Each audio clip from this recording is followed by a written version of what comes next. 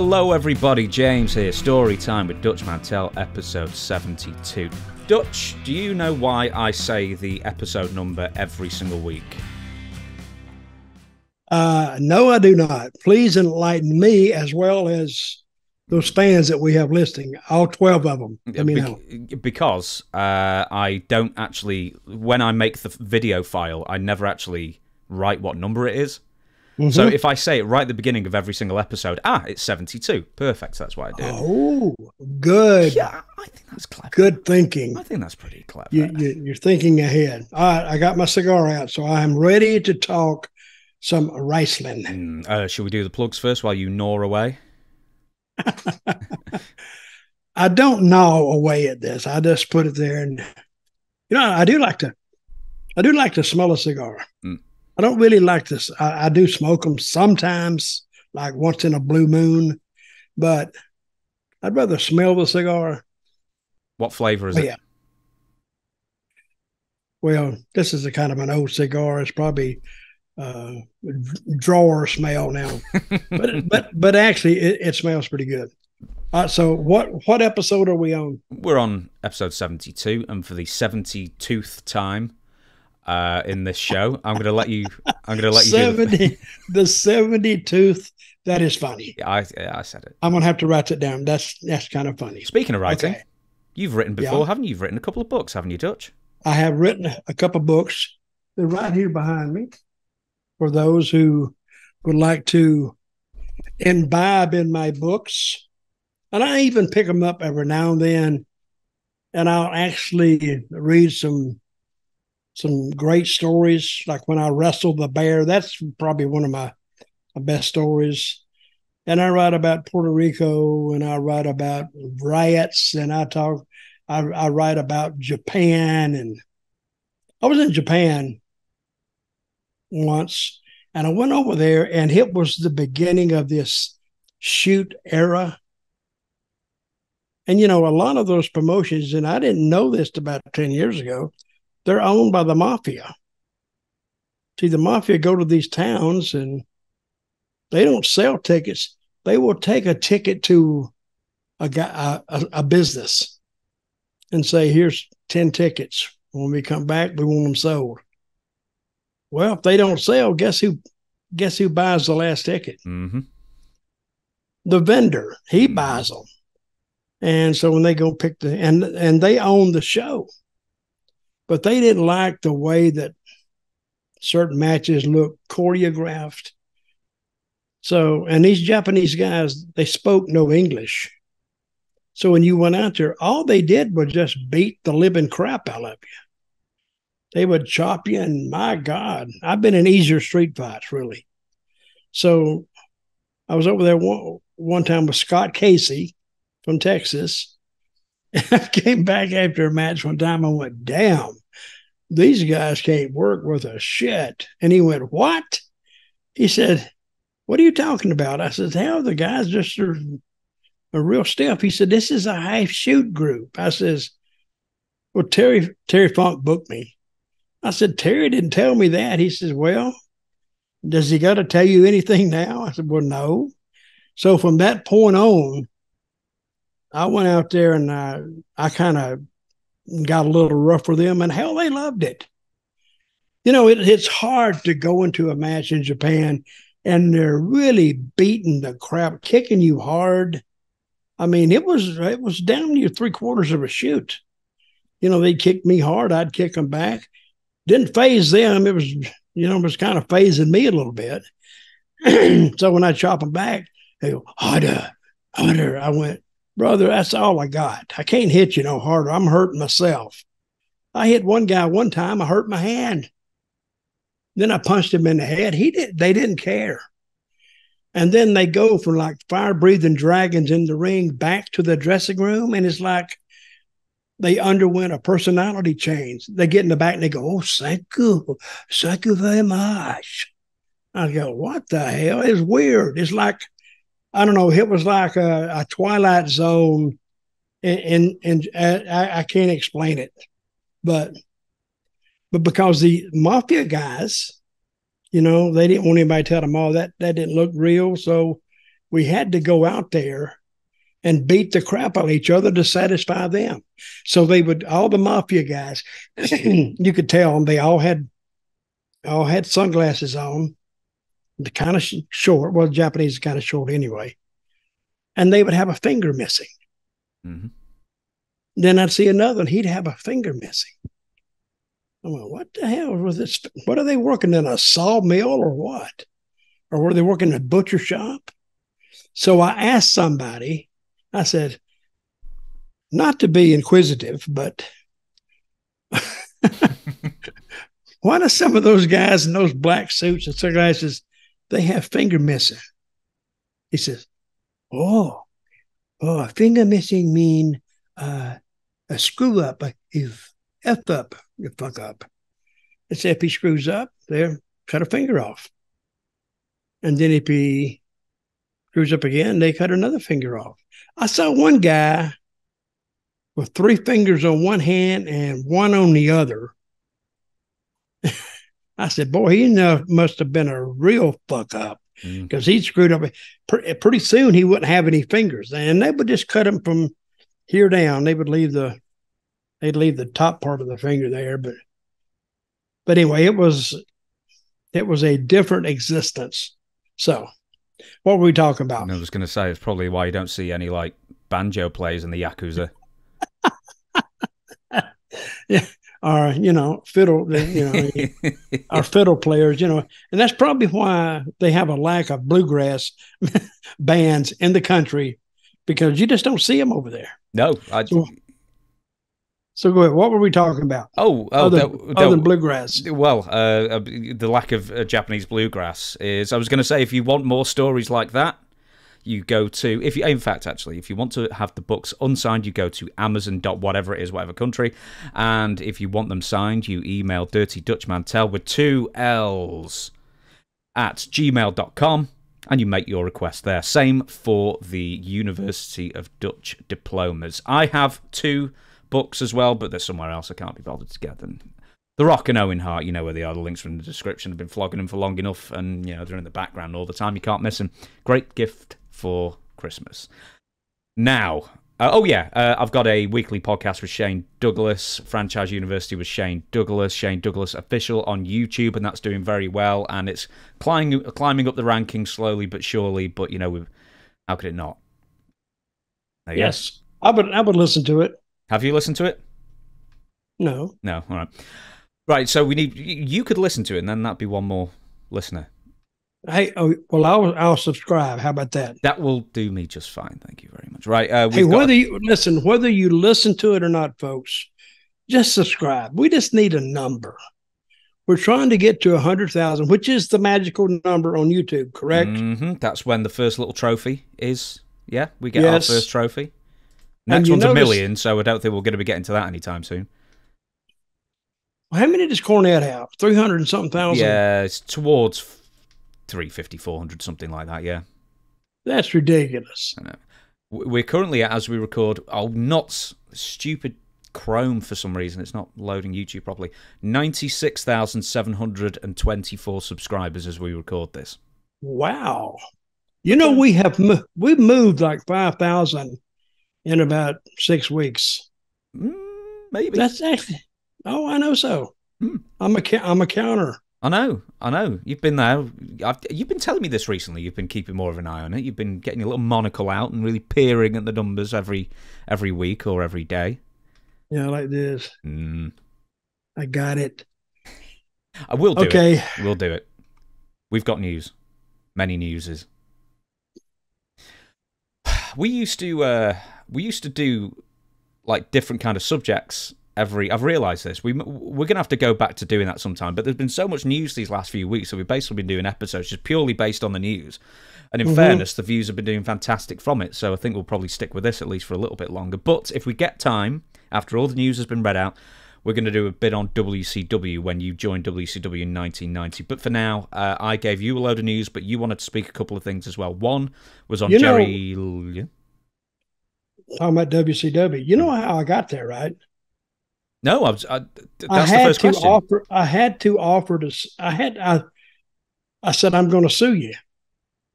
What? And what was the name? Herd. What's his name? Jim Herd. yeah. Jim Herd. Yeah, I got him on the phone and I said, "Hey, you gonna book me or not?" He went, "Well, this, that, and the other." I said, "No, that's not that's not the question." I said, "If you don't book me within the next two weeks, you're going to have a certified letter coming on your desk, and I'm suing you guys." He said, "For what?" I said, "Well, first of all, not keeping your word for one thing, which wouldn't have been enforceable. It's my word against them." But I got booked. They called me up and said, Well, you, here's your start date. Because he said he was going to book me and I was somewhere else and I gave my notice. And then they didn't book me. We, which is which is standard operating fare for a lot of wrestling companies back in those days. He didn't know that. Uh-huh. So when I said I'm going to sue you, he didn't want a lawsuit on his desk because they're going to have to do something with that because you know, TBS is a business. They don't like that stuff lying around. So the easiest thing for him to do was just give me a job.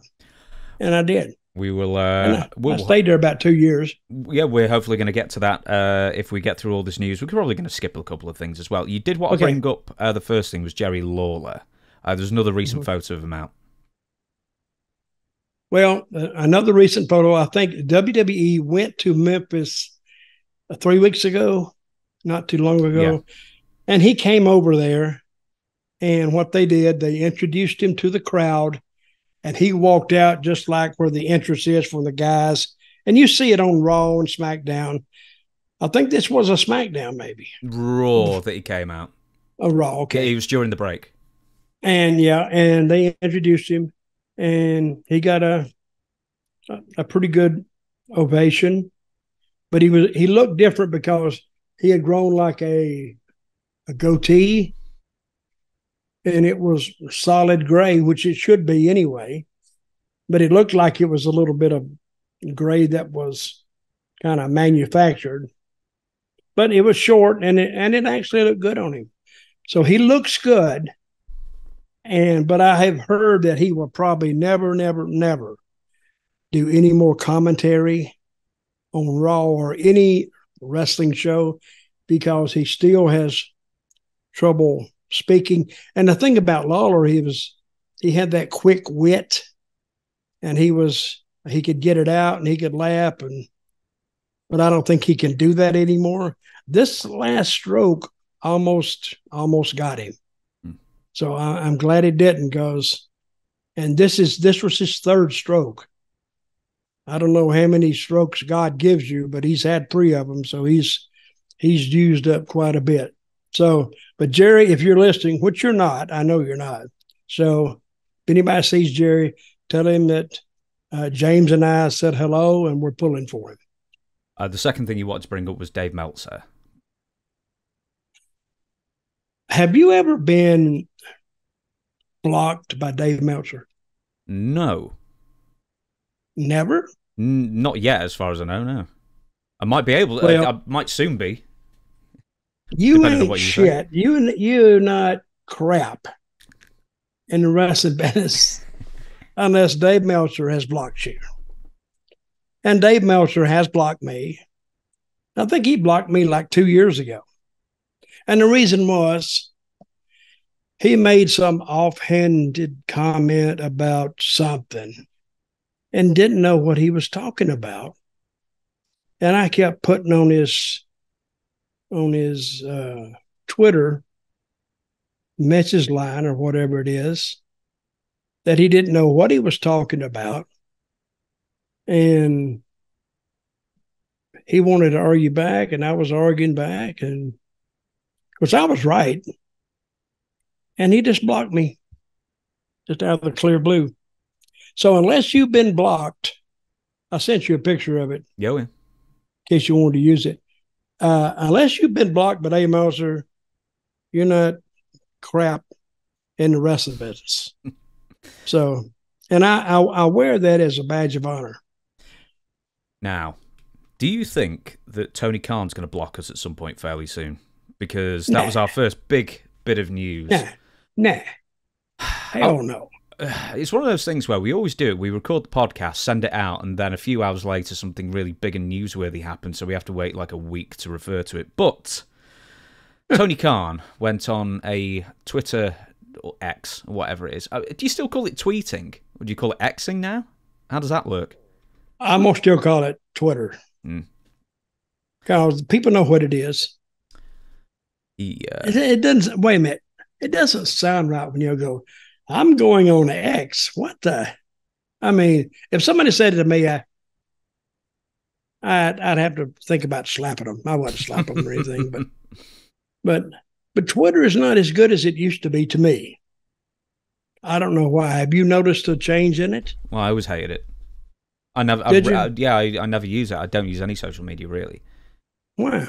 because I've got no interest in talking to people or seeing other people, what they're up to. Well, how are you going to get people to talk about you? That's a good point. That's why I've got one.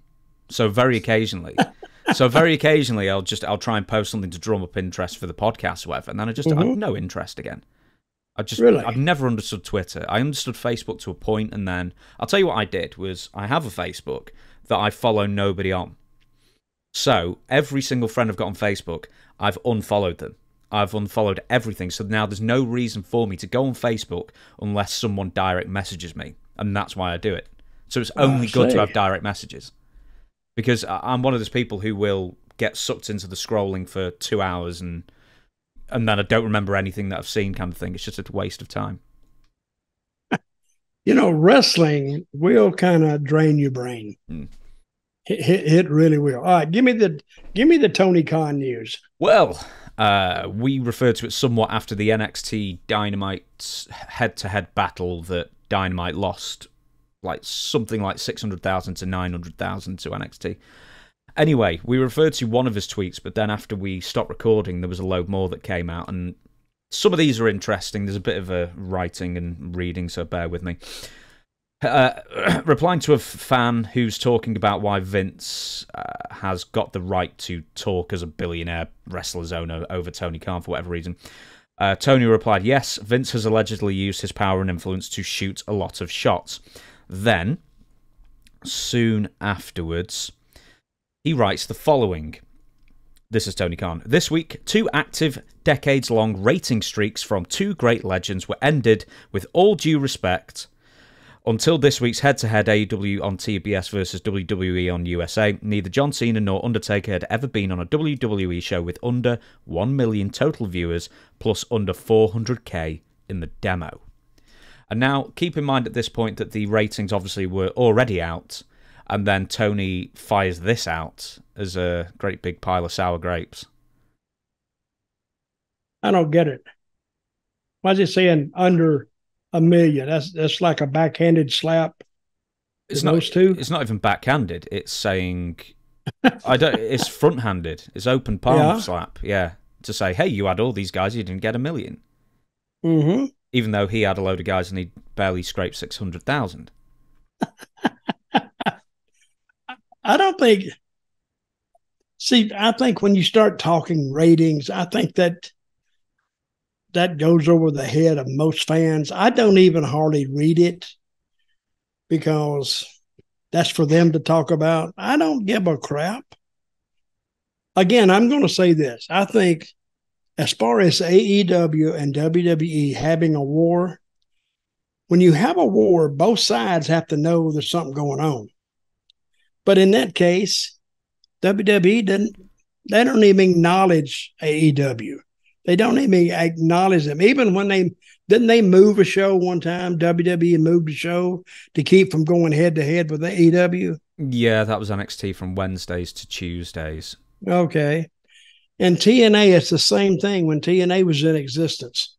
WWE didn't even didn't even acknowledge that TNA was there. So They if a did. war goes on, you have to have two competing sides, and both of them have to know that a war is going on. You're fighting each other. Oh, the first week in TNA, when TNA went live on Monday against Raw, Mhm. and they had, I think that was the one with Hogan and Bischoff coming Yeah. out. Do you know what WWE scheduled? And they definitely did know there was a war on. Not that it was a war, but they definitely did want to sort of put a stamp on that. Was I think they booked the return of Bret Hart for that. Mhm. So it's not like that. In a way, they're taking the war not seriously, but in a way, they're definitely booking as if there is a war for one week, and then Yeah. after that, they didn't book anything special at all because TNA couldn't. Okay, let's handle go. TNA, they still lost the lost that first head to head. Oh, badly, and then the and then it. it was worse every week for TNA to the point that they were pulling in like point fives. Mm-hmm. Yeah, Well, I had a good idea for that. They didn't want to do it, I think. Uh, I think we needed to accent our girls more in TNA because that's what paid the bills.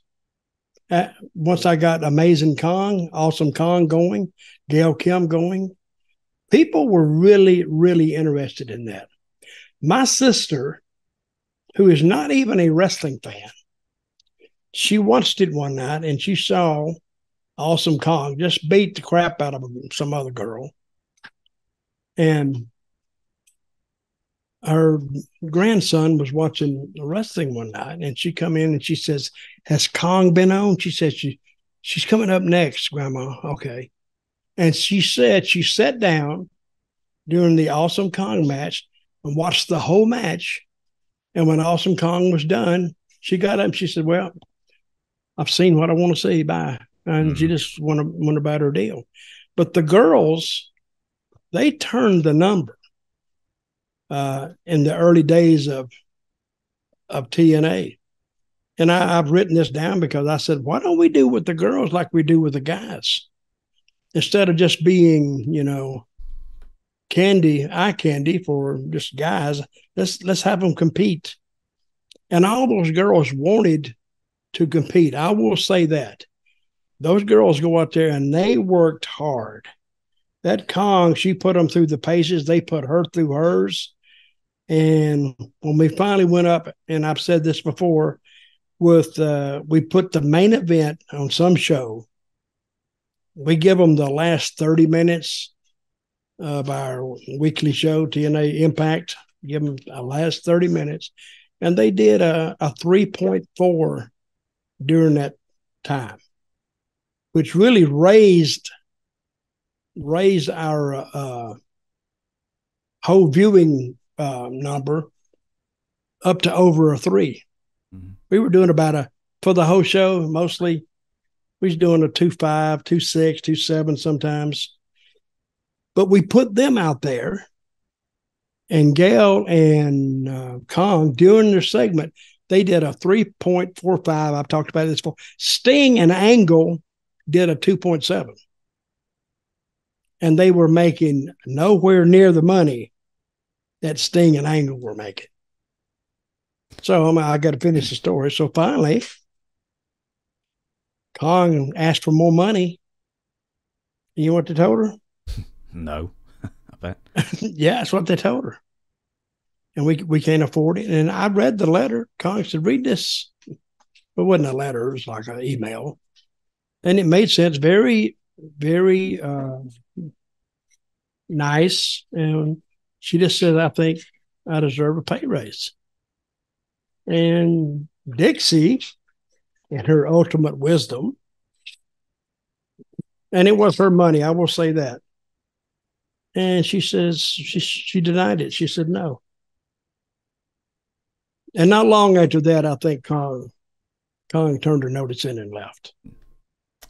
with the because uh, there's a couple of things and there's another tweet I'm going to read out from Tony Khan as well that we uh, can react to now. Very specifically, Tony Khan referred to one million views. Now, I'm fairly sure that you will have seen the meme out there that happens or that's happened, you know, for a couple of years now, where if Dynamite, which always happens now, doesn't reach a million views, someone posts a sad-looking Shahid Khan, that's Tony's dad, with a big frown on, saying no one million. Have you seen it? I probably have. Yeah. So anyway, it's it's a big thing. So apparently, according to only Dave Meltzer and Bryan Alvarez, they have both come out to defend Tony Khan as having this brilliant idea of making this tweet for uh, because actually he was referring to the no 1 million meme, right? But the Mhm. problem is is that it's apart from the fact that it says 1 million viewers, it has nothing that relates to the original meme because the original meme is a photo that says no 1 million. So if Tony wanted to say something in reference to that, what he should have done was have a photo with John Cena and The Undertaker saying no 1 million. That would have been a direct reference to that meme. Whereas this is just, I don't even know what this is, apart from just like complaining and sour grapes. Now, the only other thing that Bryan Alvarez and Dave Meltzer have said that hey, you're gonna keep you're gonna keep on. They're gonna block your ass. I'm gonna tell you. I'm gonna tell you right now. You, you know, I will get over it eventually. uh, the, the, only other thing is they said that keep oh, digging, keep digging your own grave. That's Go fine. ahead. Tony, uh, they also said that Tony Khan was great because after releasing the Sour Grapes No One Million Undertaker John Cena thing, that he also released a load of matches for the upcoming like Rampage and Collision shows, which mm-hmm. was his way of apparently gaming the algorithm of Twitter to try and get more advertising for the shows. Which in turn, when the ratings came out, they were the ratings were just in line with every other show pretty much that they've done that doesn't go head to head with WWE. Well, again, that's I don't think most fans understand that. Most fans don't give a shit about that. You know, it's it's just saying, oh, well, they outdrew so and so. They don't care really. Just give them a good match with a good ending or a story, a continuing story, and they're happy. That's why they're watching the show. They're not watching the show for the I don't know, the analytics. They're not watching the show for ratings. They're watching the show to be entertained. What if you were watching some, I don't know, Game of Thrones, and all of a sudden, oh, and then they start talking about what it drew and all this. Well, hey, if it's not drawing, guess what's going to happen?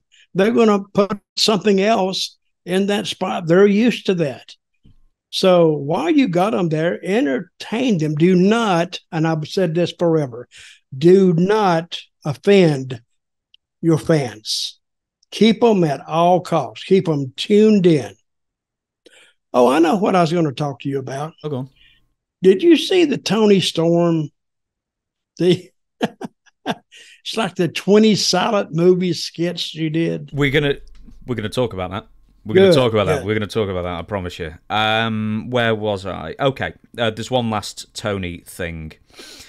He then wrote down shortly after the 1 million thing. This weekend marks one year since Mayo Clinic saved my mum's life. During her ordeal, many AEW talent came to me alleging WWE tampering, inducing them to break their contracts. I'll never forget these phone calls at her side in the hospital. It's when business became personal to me. This is nothing new. I mentioned it last year after she came home. It's relevant today because she checked in for surgery one year ago today. As I've mentioned several times since, Mayo Clinic are heroes, and thanks to them, her recovery from a very grim outlook has been a miracle. So, mm-hmm. what do you make? That's a lot to unpack there. What do you make of it all as far as contract tampering and sort of like lumping that in at the same time as her very his, his very sick mother? Well, one thing, if she's very sick, he doesn't need to be at her bedside talking business. That's for one thing. He needs to be there for support and to help his mother get better. Mm. And he, or if he has to take the call, go out of the room, but leave somebody with the mother in case something goes wrong because he's there. He's there for support. And because she raised him from a little boy up to this big time wrestling promoter. As for all the WWE tampering, I think about 75% of that was manufactured because probably some of those contracts are coming up and they're calling him and telling him that WWE is interested in them, which is a lot different than contract tampering. If they call somebody or somebody say say James you're you're a wrestler and I call you and I start talking to you, if WWE wanted you, would you be interested? Now, that's not, I'm not WWE. Mm-hmm. And you would say, well, according, it's according to the deal. I says, well, would you? And then we talk back and forth. Is that contract tampering? That's just asking. And then if I've talked to somebody in WWE, I said, you know, James might be interested in an offer and they can follow through or not. But I think most of these offers was to keep their contract up in AEW. Of course, I would have to know who told Tony this. And I, I have the usual suspects. So, but that but that's what I think. And I think they bothered him, but now now the burden of responsibility shifts to the talent because why are they bothering Tony at this? He's he's in a very difficult period of his life. Why would they bother him like that? Hmm. That is interesting, See? isn't it? Yeah.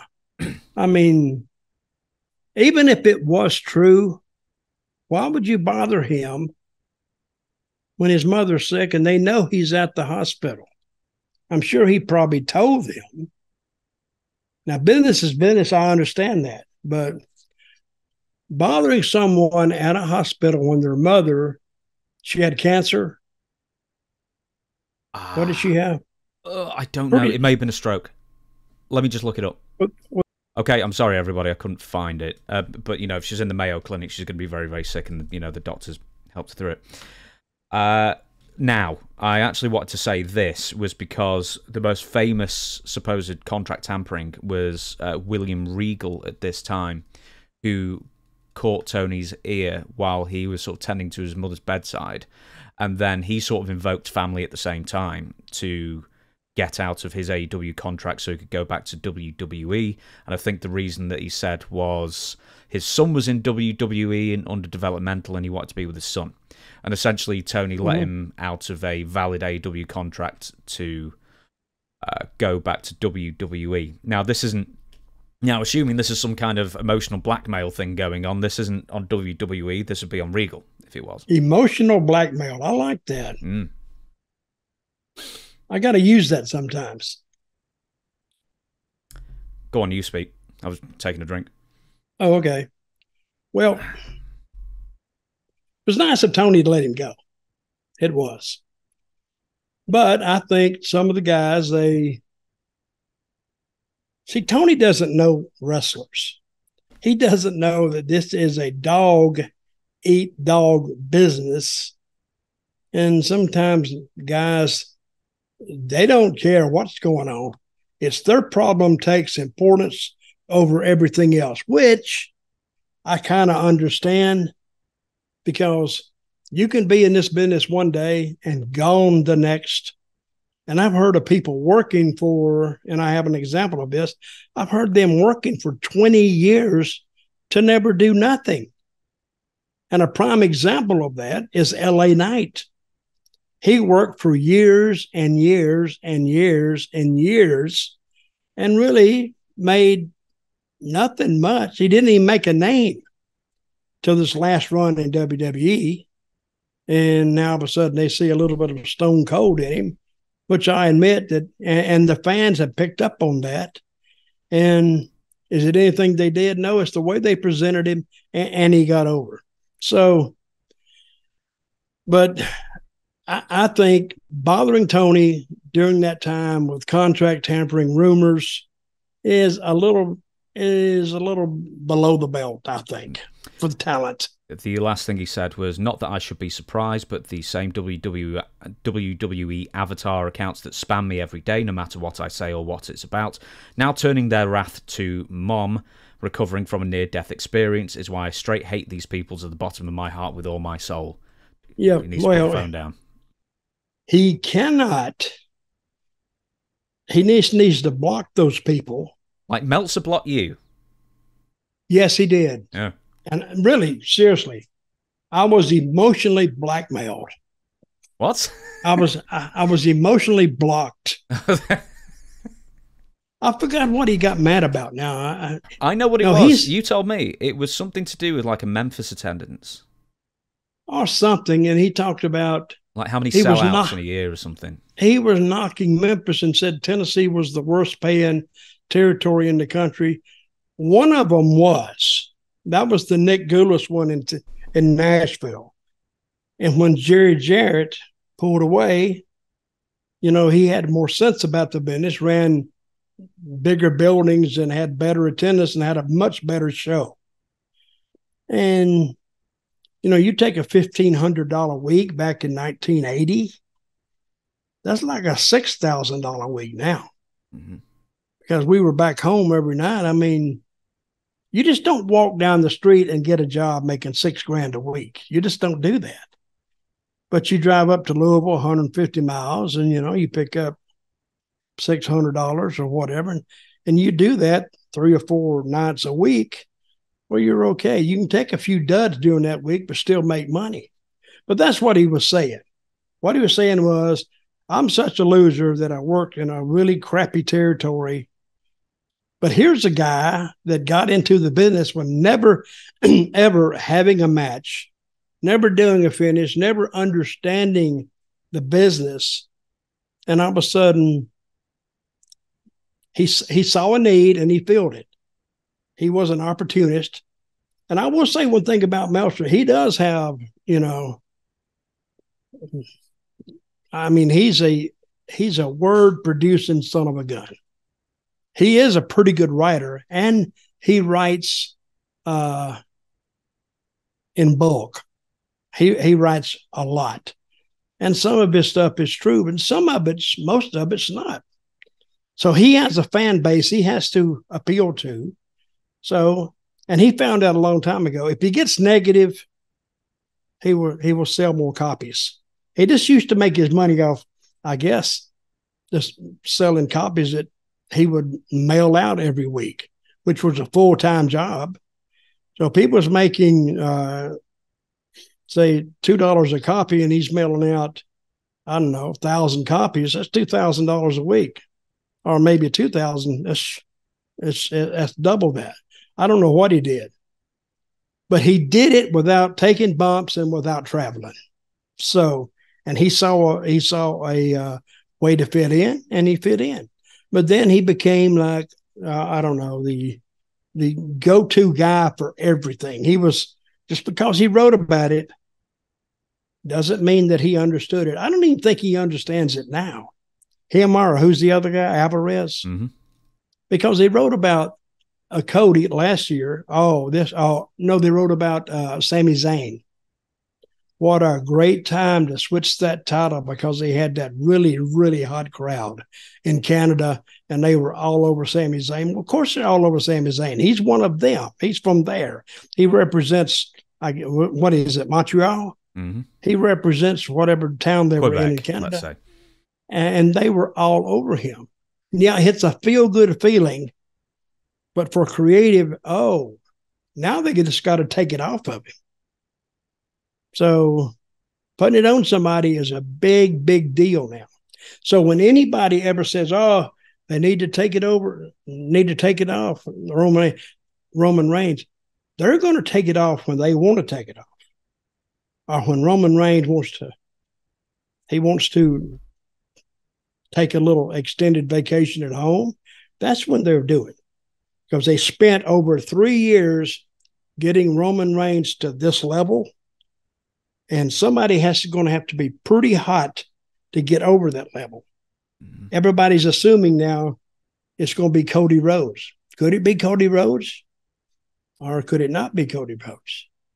You know, a match I would like to see. Dave Meltzer versus um, Brock Lesnar. I bet that'd be good. That'd be good. Uh, but he just put Brock Lesnar to sleep by making him read some of his damn Observer newsletters before the match. The bell ring, ding, ding, ding, and Brock be asleep in the back, and he'd miss the match, and and they'd count him out. Uh, right. Uh, we won't spend too much time with this because I'll explain why in a second. Tammy Swi- uh, Switch, Tammy Sytch being recommended 26 years. Uh, calling the WWE Hall of Famer a danger to society, a prosecutor is asking that Tammy Sunny Sytch be sentenced to the maximum penalty of 26 years in prison for driving drunk in a crash that killed a man last year in Ormond Beach. Uh, this is what the prosecutor said. By continuously driving under the influence without a valid license, the defendant has demonstrated a wanton disregard for the law and a clear refusal to abide by the law. The state believes that the maximum sentence is the only way to protect the community from the defendant's repetitive and dangerous actions, wrote Assistant State Attorney Ashley Terwilliger. So, 26 years. We've talked about this a couple of times before, and you've been saying 10 years plus. Is 26 years too much? Is that right? Well, this is what the she's. This is a this is state law. It's a state case, right? Mm. Not a federal case. Mm. See, I, I know a little bit about the law. If it's federal case and they say, let's say they say 20 years, well, they don't go too much on that probation stuff. You'll serve about 17 of those 20. If they give her 20 years in state court, she could serve 10 and according to her behavior, Hmm. and they could let her out. But prisons are not to punish the guilty so much. Prisons are to protect the people that are still on the streets. See, when they take, when they let Tony, uh, Tammy. Tammy run free, they take a chance of her getting drunk, going out there, getting in a car and driving off and killing somebody. It's actually to protect us. So if they give her 26, I will be I will be surprised, but I think it's going to be 20 or above Really? because they they they got to go over her record. But this time she killed a guy. Here's a 75 year old guy sitting in a car. Uh, the sun is shining. He's in Florida. Bam, he's dead, just like that. Because she didn't care, and she doesn't care. When she gets, she has a severe drinking problem, and if they let her out, I think she would kill somebody else. Of course, I can't, I can't, I can predict that. I don't know if it's going to be true or not, but we know what her record is before, and why would it change? So 26 years, that's the maximum penalty. But you think 20 now? Because I think when we've talked about this before, you were predicting nearer 10. But is your uh, heart now going towards a higher number? How old is she now? 50, 52? Around that, yeah. I think she should go. To me personally, I think she needs to serve bet- between 10 and 15. Get her off the highway. It's what I think. Because if they keep showing, oh, we have lenience toward these drivers and this, it doesn't have any teeth in it. And now they have somebody with a name that people know. So if they put it on her now, that that will get out, and everybody will know that. Do you think her celebrity status will help her or hinder her in the sense that I maybe it it- could be I- an example made of her? Yeah, I think it'll work against her. Hmm. I think they're going to make an example out of her, and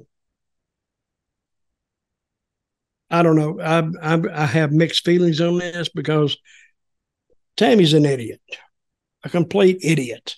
She can't help it, but she didn't mean to kill the guy, but she did. I mean, I. So that could be me, or it could be you, it could be your friend, it could be somebody else, it could be a kid, it could be. So why wait for her to prove you wrong and when you could probably save somebody's life that has nothing to do with Tammy Sytch? Mm-hmm. So letting her out is like saying, okay, here, take this gun and just start shooting up in the air over in that field over there. And if she hits somebody, who's is that her fault because you told her to do it? Or is it her fault because she did it? So she's the one that did it. She's the one that needs to suffer. Says here that Sytch is set to appear November 27th for sentencing before Circuit Judge Karen Foxman at the S. James Foxman Justice Centre in Daytona Beach. So we will be keeping an eye That's on six- that very much so. That, that, that's six weeks. Yeah. Correct? Yeah, About that? yeah, maybe even a tiny bit less. Yeah, uh, we will You move know. I'm not now. I'm not I'm not that far from there. I might go over there. What, and pelter with rotten tomatoes or something, or Yeah. And I may be sitting in the car. She wouldn't she wouldn't know it's me though. I can could wear a mask. report. I, uh, I yes, Texas I. Dirt has turned up. a, a COVID mask. I'd wear that and a, and a wrestling mask on top of that, or a wrestling match and then a COVID mask. My God, Texas- Jushin Thunder Texas. Liger has turned up to the courthouse. Texas dirt, and I, I got a I got a big hat on too. So Right, we will move on to the next thing, and this pertains to you. You know something, James? Yes. Listen, yes. you need to be a little more serious when we do this podcast because Absolutely fans listen to this. Fans listen to this to get information and to be entertained. But yet you're you're saying, I don't know. Go ahead. You said you would turn up in a wrestling mask to the sentencing. that you laughed. See, you encouraged me to do that. I- So you encouraged you encouraged my behavior. Are we saying we're bad for each other? Is that basically what you're saying? Okay, read your next subject. Next one p- pertains to you. Uh, Father James Mitchell recently gave an interview to Wrestling News. Uh, very brief. They went with Dutch Mantell, they being WWE, to do the We the People thing. I wouldn't have fit. I couldn't do what Dutch did. That's kind of getting into a political thing and what not. So there was a rumour out there that James Mitchell was actually originally considered to manage Jack Swagger. Have you ever heard this before? Never heard it. And Jim wouldn't have been good at this anyway. Hmm. Jim's a dark, brooding figure. He was like a priest, a dark, you know, a priest who who's on the dark side. He plays and he has that that Ox Baker eyebrow that he turns up like that and great talker though. Great talker. But as far as rallying people, I don't think his interviews are not geared that way. His interviews are geared the other way. Could he have been considered? Yes, he probably could. They were looking for a voice for Jack, and they did try some different people, but they didn't have the same tone. Me being a veteran and me kind of doing that all American thing before, not like the Jim Duggan all American thing. But but Vince heard me the first day and says, Hire him, pal. And that's what he did. Do you know any other name? Right. So I think originally was it Bunkhouse Buck who turned up like a week or two Buck. before, yeah, Yeah. and They he couldn't tried talk. him. He couldn't talk. Robert Fuller, he could talk, but again, the style, the style didn't fit. And James Mitchell, you know, I, I don't think he fit either. And even James agrees with me. Hmm. So to they, and I don't know who else they tried out. They didn't tell me. I don't care, but I, I'd like if it was Jim Mitchell and then Jack Swagger as like a satanic altar boy kind of thing. Do you think that'd work? See, you're taking a gimmick, you're taking a th- idea, and you're already. This is the way creative works. All of a sudden, you take the original idea, and all of a sudden, you just change the whole thing into a dark, brooding, you know, some kind of ideological concept Is that of what yours. Disco Inferno would do? Oh yeah, he would he'd do that. Disco Inferno, I I I, lo- I love him to death. He used to he he was on the creative in TNA for about two weeks. He walked in one day after we'd done been there two hours, three hours. I'm about ready to pull my hair out. Hair out. Jeff was checking the bullets in his gun. Vince was all messed up, mad, or whatever. and here comes Disco in, and he says, and he we laid it out for him. He says, "I don't like it." I said, "Get the f out of here, God damn it!" And I I was throwing shit. Then I came back in. He said, "Hey, I didn't I didn't mean to piss you off." I said, "I know it's not you. It's the process. This process is killing me. I don't give a crap what it is, guys. Decide which way you want to go, and let's go with it." Mm. Because so many things were flying off the walls. I think we were missing the whole point most of the time anyway. So we'd have a center point, and then we'd work all the way around it to get to the other side, and then work our way back to where we were. It's like an hour of talk, and nothing would be accomplished. Why wasn't Jim Mitchell ever picked up by WWE? Because I mean, I don't. I don't know. Because you don't know, he had a great character, great talker, Sure a, a niche character in the sense that you can't put him with just anyone. But uh, yeah, is it just Vince hates managers? Is that is that is that how you say that word? No, here it is. You say niche, I think. Yeah, Yeah. niche. Mm. And how do you say it? Niche. Niche was French, isn't it? That's how you pronounce it. Yeah. So, yeah, I, I think Vince got off managers for a while. And then when he kind of got back on them, maybe maybe he didn't like Jim's presentation. And but he actually he had to know what Jim was before because Vince kept up on this. He kept looking at these characters in different territories and because he was looking at them as a way for how could he take this character and make it work for him, make it work for WWE. So, and Buck asked Buck, uh, Buck, he wasn't a good talker. And they had brought him in before as, I think, as Jack's father. Mm-hmm. Yeah. I think they had brought him in and it didn't quite work. And so when they brought me in, they told me the story. I said, Well, I got to explain why I'm here. Why, why, what if I knew Jack when he was a kid? And uh, he was, uh, and I was in, in Nam with his daddy, and now I can help his son. So they said, Yeah, that's good. So I actually tied my connection in with uh, Jimmy and uh, and Jack and as family, I kind of tied it in there and they just left it. Hmm. So, see, that was partly my job. So, but I'm glad they picked me. I enjoyed my time there, and we could have done so much more. Hmm, tell me about it. But they pulled me out to manage Alberto Del Rio. That was a bomb waiting to drop. We uh... and, it, and it exploded halfway down, and it was a dud. We, uh, I think we talked about that quite recently as well. It's on the YouTube channel. Just search Alberto Del Rio. You'll find it. Trust me. Next one, Ari Emanuel, who is the head honcho at the newly formed TKO on Vince McMahon. Once again, your favourite person, Dave Meltzer on Wrestling Observer Radio, said, Well, he, McMahon, is out of creative. It's a big story because Ari Emanuel, what they were on the verge of closing the deal and had actually closed the deal in April, did media rounds saying Vince will be in charge of the company, WWE.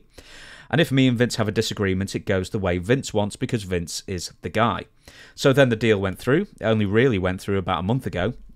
And already Vince is out of creative because Ari Emanuel. So this is a real.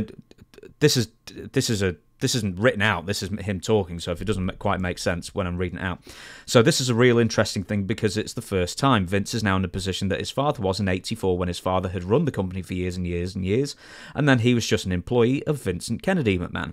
Now Vincent Kennedy McMahon was the guy making all the decisions, and now Vince has in fact been overruled. Even though when he merged the company, he was told that this would not happen. It did happen, and it's a really interesting thing. And that statement when Ari Emanuel was talking about the reasons the stock is down, and he mentioned Vince's name. So it's very interesting, I think, what is going to happen. Vince's power is clearly marginalized. There's no way around that. So that is low key. We're going to be talking about low key in a bit, I think. Uh, but low key, massive news that Vince McMahon has already been marginalized, shoved to the sidelines of the company he retired from last year, and then took over the power reins at the beginning of this year. What is this? Is this, uh, have, what is the stock worth now? Ooh, I can up look or down, it up. For... Up or down, up or down. Oh, way down. Uh, way down. I think it's probably in the 80s when it was in the 100s. I'll get you a specific number in a second, but you carry on. Okay, if it's in the 80s, that's uh, quite a drop from 100. Mm-hmm. So, but you look at their houses, they're full. Their pay per views are selling well. They still got the Saudi Arabia deal. Their merchandise is doing well. And I think they're getting ready to move from Fox to another network, and USA. I'm pretty I'm I'm pretty sure uh, that stock is going to be coming up. So if you're going to want to buy stock in WWE, I think now is the time to buy it. Let me tell you what it is. Uh, it went from a high of 105.50 on 19th of September, and it's currently at a low of 76.94 as of Thursday, that's, 19th of October. 26% drop. And what did they attribute that to? Well, partly Ari has mentioned Vince McMahon. uh, this is why he brought up his name. Uh, I don't know. Uncertainty in the market, but also the other thing, I've not written this down, was that uh, the Saudi Arabians have bought one of UFC's competitors. I say competitors, they're, they're like impact to, to WWE. Uh, another Bellator. MMA outfit called, uh, no, not even Bellator, PFL, I think. So mm-hmm. uh, the theory was that partly the stock market had, um, Wall Street had overestimated the importance of PFL uh, to UFC, and uh, also mentioning Vince McMahon as part of creative, and also didn't mention this, but Vince McMahon is currently, I think, still under investigation by the federal government as well. Yeah, but I, am trying to. I, am not a big guy on stocks. So I don't know swings and ups and downs, and but people that study this will probably have a reason for it. I don't see there's any reason to me, but I don't know what I'm talking about when it comes to stocks. I don't know why it would drop 26%. Ah, uh, you've just reminded me one more thing. The SmackDown uh, rights fees were less than they were hoping for. In, um, I think they announced, I don't know, pluck a name out the uh, number out there, something they'd hoped for like 1.7 billion over five years. They ended up getting 1.4 billion and they'd overestimated what they were hoping for, and that's also what has uh, taken a tumble on the stock. Well, that could have been a, a major cause, a major cause, mm-hmm.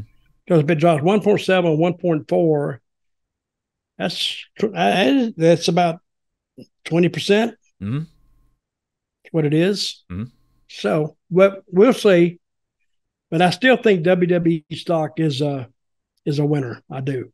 Yep, I I think you're probably right there. It's probably a good time to buy. Now, next one. You watched this, as did I. Cringe worthy. Well, one of a couple of cringe worthy things.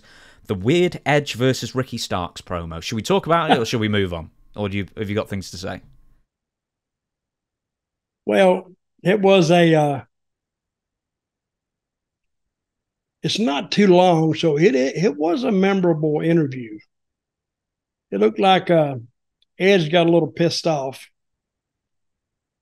What was uh, what was uh, Ricky Starks? He said something he shouldn't have said. It's called him like bug-eyed, didn't he, or something? No, he said something bug-eyed to Edge, I think. Mm-hmm. So what he said? Mm-hmm. Well, let's watch it. It's AEW. You never know when Don Stevens is going to be hanging around waiting to copyright strike you. Oh, she may strike it.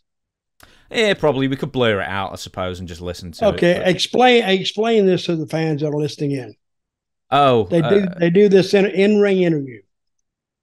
It's sort of tough to say because it seems like it goes off script really, really early on, and then they just start stuttering around and then trading barbs, and then Edge calls Ricky Starks a vanilla midget, which is funny because uh, uh, Bryan Danielson's five foot eight stood next to him as well. Yeah. So I mean, I think Edge is like six four or something like that. But and then it just sort of just just stops, and that's it. It's just weird. They, they just do the interview and insult each other. The crowd pops a few times, then they just get out. Pretty much, yeah. They had no contact or nothing. I think that's basically it. Yeah, I think the clip I showed you was what like thirty odd seconds. Not long. No. All right, so. Yeah. yeah. But it, but when I saw it, I thought to myself, did this lead to something? This are they just talking and trading barbs, and all of a sudden they leave? That's nothing. They left it open, mm. but not really interestingly open. They just left it open. Period. Okay, next order of business, and I know you watched this. Nick Aldis has made his debut on SmackDown last Friday. He is now the uh, uh, SmackDown GM, sort of taking over from Adam Piss. Uh, Piss. Adam Pearce. Uh, mm-hmm. Being shifted over to WWE Raw exclusively. So now Nick Aldis is going to be the uh, SmackDown authority figure. Uh, talk about when he debuted. It seemed like quite an anticlimactic sort of bringing on of a new character, but he sort of wins the crowd over quickly. Well, I think the crowd that they know who he is. Nick Aldis is a great talker. I think a great it's a good addition to to SmackDown because, and I think he's such a change from Adam Pearce. Is that his name, Adam Pearce? Yeah, well, it's not Adam Piss, like I said. Yeah, I completely misspoke. Adam Pearce. Yeah, you did. So you should. Have you apologized yet? Uh, I'll do it next week. Okay, but they can do a lot of bullshit with you know Aldis because he's used to that stuff anyway. I mean, and he does have a humorous side too. Plus, he's British, which I think he fits in perfect with that SmackDown bunch. And I do believe they will be doing something between Pearce and Aldis. You know, when he said, "I'm look, I look forward to our conversations in the coming future." Healthy competition. Yep, and I think we're going to see them at each other's throats, and but I I miss actually uh, Aldis in the ring. He was great, great in the ring, great in ring talker. Of course, it could lead to that. I don't know what it because now they have uh, a general manager that can actually get in the ring mm-hmm. and have a match. I mean, that's not going to be right off the bat, but they have that hand to play. So now Nick Aldis is not just like a one dimensional character. He can actually get in the ring, have a match against, say, a baby face that he's been given a tough time to, or however they tell the story.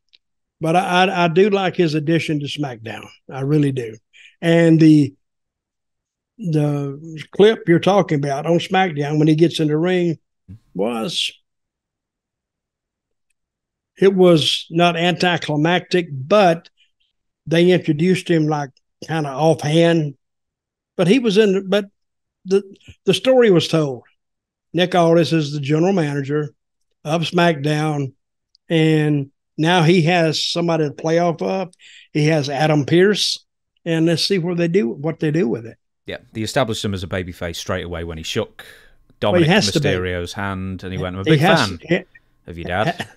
Uh, that was good. that is a good, good, line. So yeah, he, he, got the crowd on uh, immediately. What makes a good and, authority? And it's oh. no, and it also Dominic the crowd. They have trained that crowd well. When he talks, nobody wants to hear him, which is that's great for him. Mm. That's great for Dominic because he's saying, "Shut up." I think he should tell him to shut up. Uh, he, I think he should sue the whole crowd he should get all their names and expect for in the mail a lawsuit coming from him for trying to railroad his his job, trying to force him out of a job. Of course, that's not going to happen. But I used to threaten when I would do in ring interviews. I would threaten to sue the whole crowd, and I says, and just leave your name at the door when you leave because you'll be getting a letter from me and from my lawyer uh, for your rude and uncivil behavior toward me tonight. And then I tell them if they didn't shut up, I would leave the ring. Oh man, that's what you. It's like saying it's like a little kid. Don't do this, but it's reverse psychology, which is saying do this. So what Dominic is saying is don't boo me, but boo me, and they do it every time. What makes I'm looking good... for? I'm looking forward to this what makes a good authority figure in 2023 because no one's ever going to beat Vince. Eric Bischoff was no. great in his day. There's been some great ones, there's been some terrible ones. So, what makes a good authority figure? Vince was great. But they took a little time to establish Vince. But once he got there, but I think Aldis might not reach that level. That's almost the pinnacle of the manager level. He's the boss. I think at times they need to bring Vince in or or have Aldis go to go to Vince just to say, what do you think about this? And get out of here, get that like he's seeking advice from Vince on how to proceed. Then there he's getting some of the heat that Vince used to have. And Vince had nuclear heat. I mean, all he had to do was walk out there and he had heat. I mean, you can't buy heat like that, but he had it naturally and he's just a heel anyway. Well, some of the stuff he did, like the Kiss My Ass Club, oh, that was making the best one I ever saw was the Jim Ross Kiss My Ass Club. Mm-hmm. Oh my God. I watched it and I literally rolled watching it. Because what I was thinking of when they told you, and they did Jim Ross, that was a rib on Jim. Had to be. Because he said, let's get Jim to kiss his ass. Oh, he'll go nuts. They didn't give a crap. They wrote it. Vince liked it. Vince said, hey, pal, yeah, I like it. I like it. So what is JR going to do? JR has to do it. Oh, he didn't want to do it.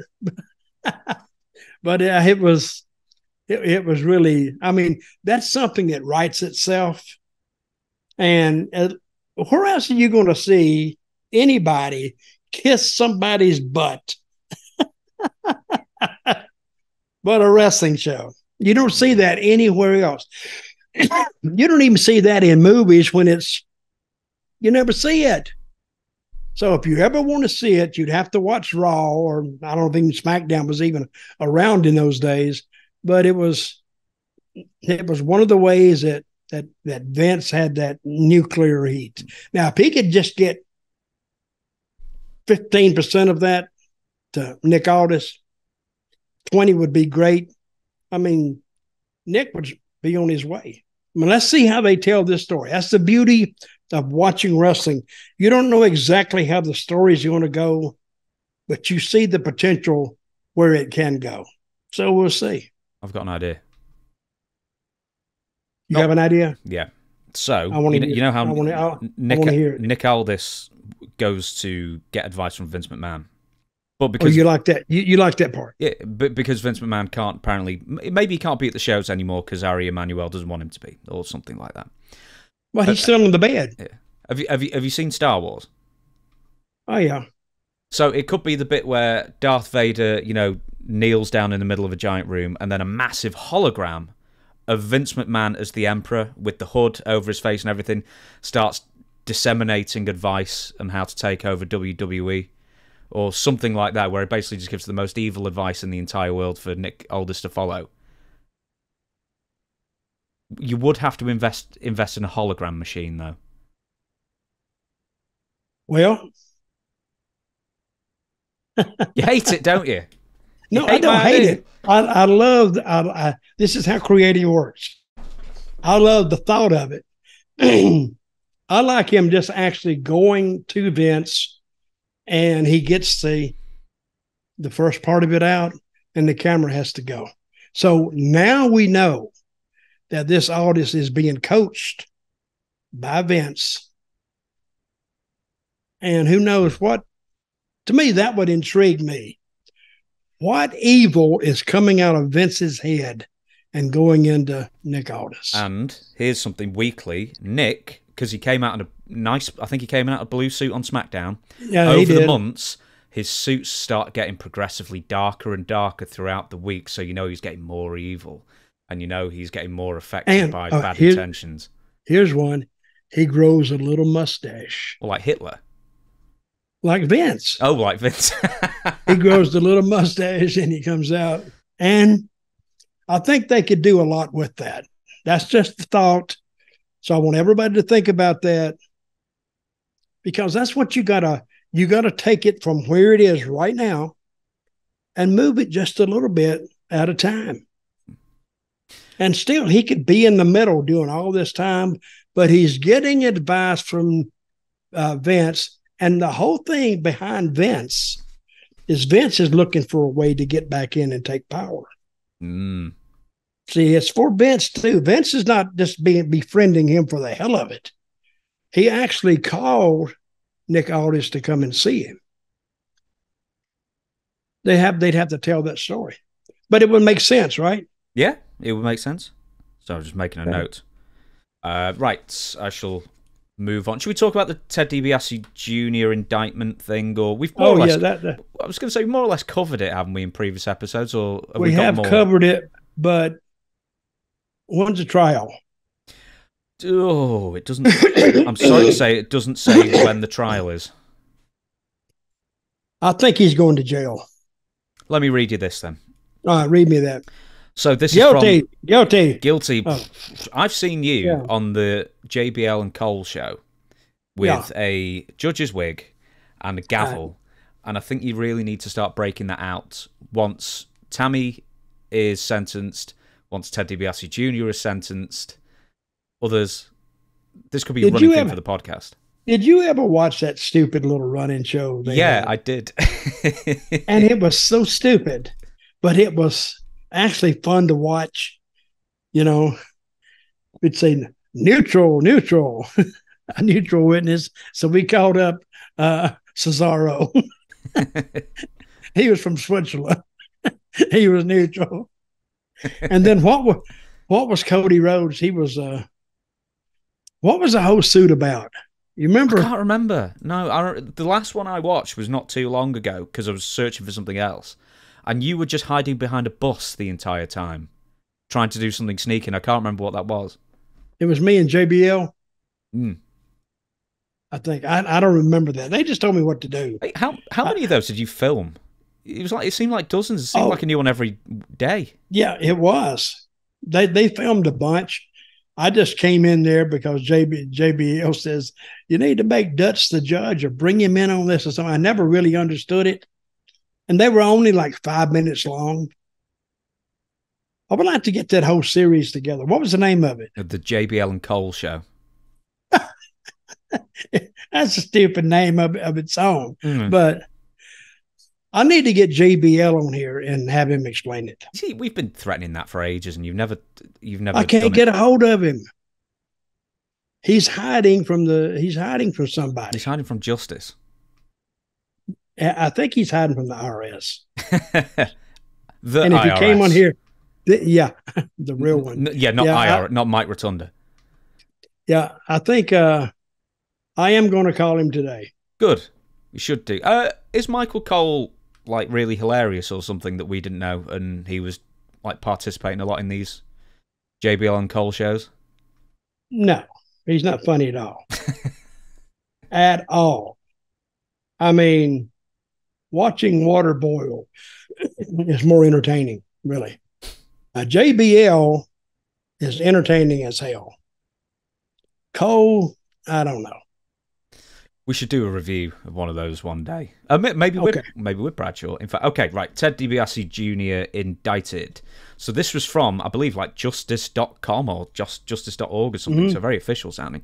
A federal indictment was unsealed today in Mississippi, charging a former professional wrestler with misappropriating millions of dollars in federal safety net funds and intended for needy families and low income individuals in Mississippi. Now we know all this. We've been through this a load of times. Uh, I'm going to try and skip ahead slightly here. So anyway, so uh, misappropriating from two different organisations.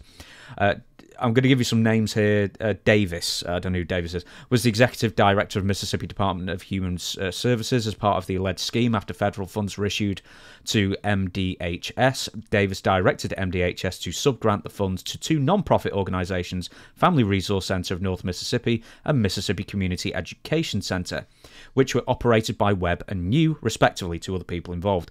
Davis then alleged that. Uh, allegedly directed Webb and New to award sham contracts to various individuals and entities purportedly for the delivery of social services, including at least five sham contracts that were awarded to Ted DiBiase Jr.'s companies Priceless Ventures LLC and Familia Orientum LLC. And it's further alleged in the indictment under these sham contracts, FRC and MCEC provided millions of dollars in federal funds to MDHS to DiBiase and his companies for social services that DiBiase did not provide and did not intend to provide. DiBiase allegedly used these federal funds to buy a vehicle and a boat and for the down payment on the purchase of a house, among other expenditures. Uh, very uh, right at the end, it says maximum penalty of 20 years in prison for each wire fraud count, and maximum penalty of tw- 10 years in prison for each count of theft concerning programs, receiving federal funds for each count of money laundering. So he could really go away for the rest Yeah. of his life here. Good. I don't think he will, but so what he did, folks, is he, he got this position where he could allocate funds to go to different organizations that he controlled. They were sham organizations, right? Mm. No, I And think he- what, what, well, his businesses were. I mean, they were legally uh, uh, businesses, but they were offered sham contracts to these comp- these shell companies that Ted DiBiase Jr. had, where instead of giving the money away to where they should have gone, he just kept the money for himself and some of these other people named in this indictment. They all shared Well- in the profits. If they've gone this far with it, I think they know about it. And I think he may be going away. Now, Ted, Ted DiBiase was named this one of these suits. Mhm. Has his kind of faded in the background? He's not been brought up at the moment. His other son Brett, I think, pled guilty, and then Ted DiBiase I thought he, I turn, I thought he turned state's evidence. did he? I don't know. Oh, so he was a rat. well, Well, I wouldn't go as far as calling him a rat, but when you rat out your family, I mean that that's pretty that's that's pretty low. You know what I mean? Yeah, do you think Daddy's So- going to be indicted in And it's and it's from the state of Mississippi too, which they don't have a lot of money. poorest, so- poorest state in the union. It is a poorest state, and it always has been. I don't know why, but I, I've never seen anybody. Oh, I want to go live in Mississippi. I don't. You don't hear that a lot. It's it's like I want to go to Florida. I want to go to Virginia or Texas. Or never heard anybody say I'm dying to go live in Mississippi. Never heard that. Now, next one. We, I think we've got three more bits of news, and then we might even get a couple of questions about WCW. We'll see how we go. Bret Hart's I, I thought it was hilarious. I mean, just like the bitterness or the jokey bitterness or whatever you want to call it, it's brilliant. Bret recently signed a photo for a fan. It's a photo of himself, and he inscribed it. Uh, we've already sworn on this episode, haven't we? We can do the swear words, or shall I bleep myself? No, we can do it a little bit, not not to the extreme. Okay, According well- to what you're going to say, I thought you run the. Don't you run the disclaimer before the show? God no. No. No, not unless Kenny Bolin's on or Jamie Dundee. Well, I love I love the disclaimer. You've been warned. Okay, go ahead. So Bret signed a photo of himself to a fan. Fuck Bill Goldberg, shittiest wrestler who ever stepped in a ring. Bret Hitman Hart. And the photo is him with a big old smile as well. It's brilliant. I haven't seen it. I sent it you. you- I couldn't find it. It was just a deal. Okay, But anyway, I, I know what you you go show it. I'll show it. One sec. Okay. I see. have, I see it now. I have sent it to you. Here's your reaction. Are you showing on the screen too here? Yeah, yeah, you're on screen. Yeah, yeah. Okay. I'll put the photo up. Okay. F dot dot dot K exclamation point. Bill Goldberg with a big smile. Shittiest wrestler who ever stepped in a ring. Love you. It doesn't say love you, but Bret Hart with a big smile. You know, I got to kind of agree with Bret because Goldberg was pushed into that position as unbeatable because he will win his matches in two minutes or, or whatever. But then when it come time for him to kind of sell, he didn't know how to do it. So he was on. I mean, Goldberg didn't get himself over.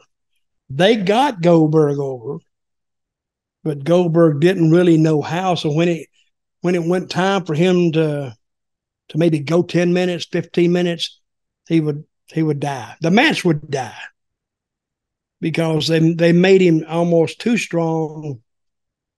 His selling wasn't worth a crap, and he was lost, and his opponents were lost. Therefore, the match was lost. So, so you can create these these characters to be too strong and I don't know who you'd have to beat him down because he was just he was almost the unbeatable, untouchable guy. Long as they kept him in that role and and him to win, he was fine, and it'd have to be short. But if he had to put some time in, he was lost.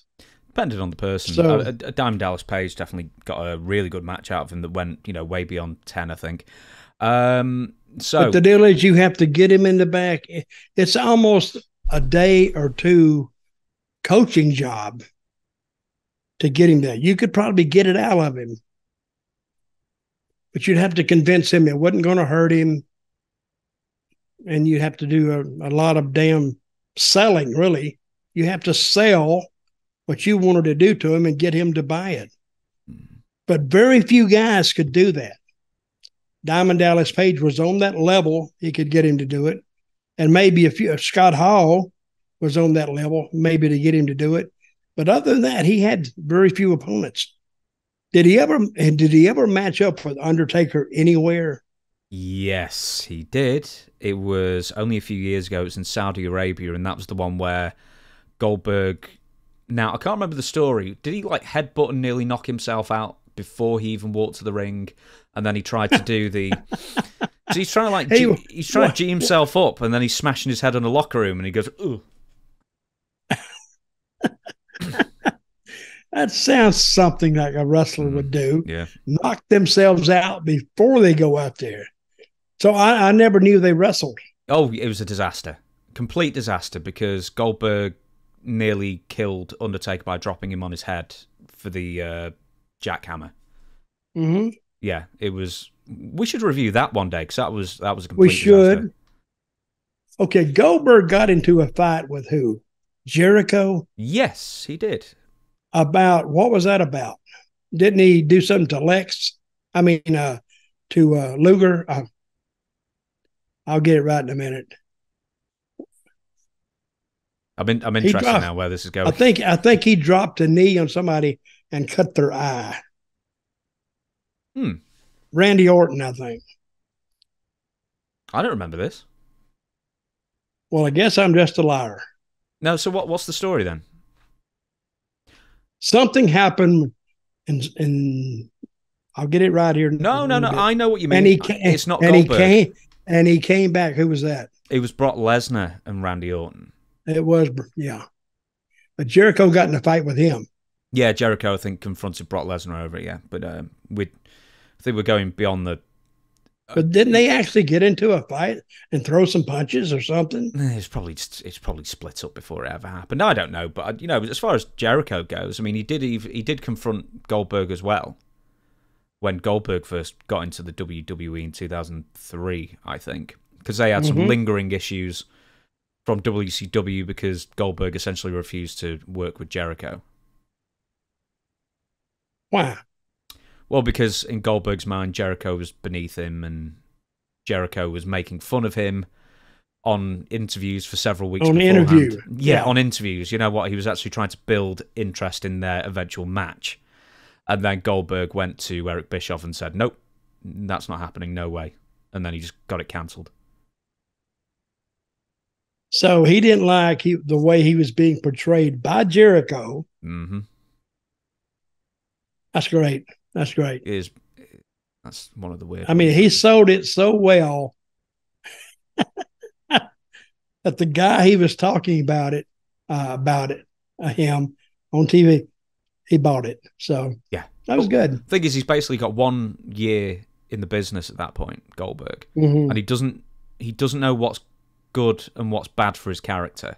But the thing Yeah. is, I think I think Bill would say this himself was he was being surrounded by master manipulators in Hall and Nash and Hogan and trying to. I mean, as soon as as soon as Goldberg won that heavyweight title, it was all over for him in the sense that as soon as he was the champion, all of a sudden he was booked worse than when he was before he was champion.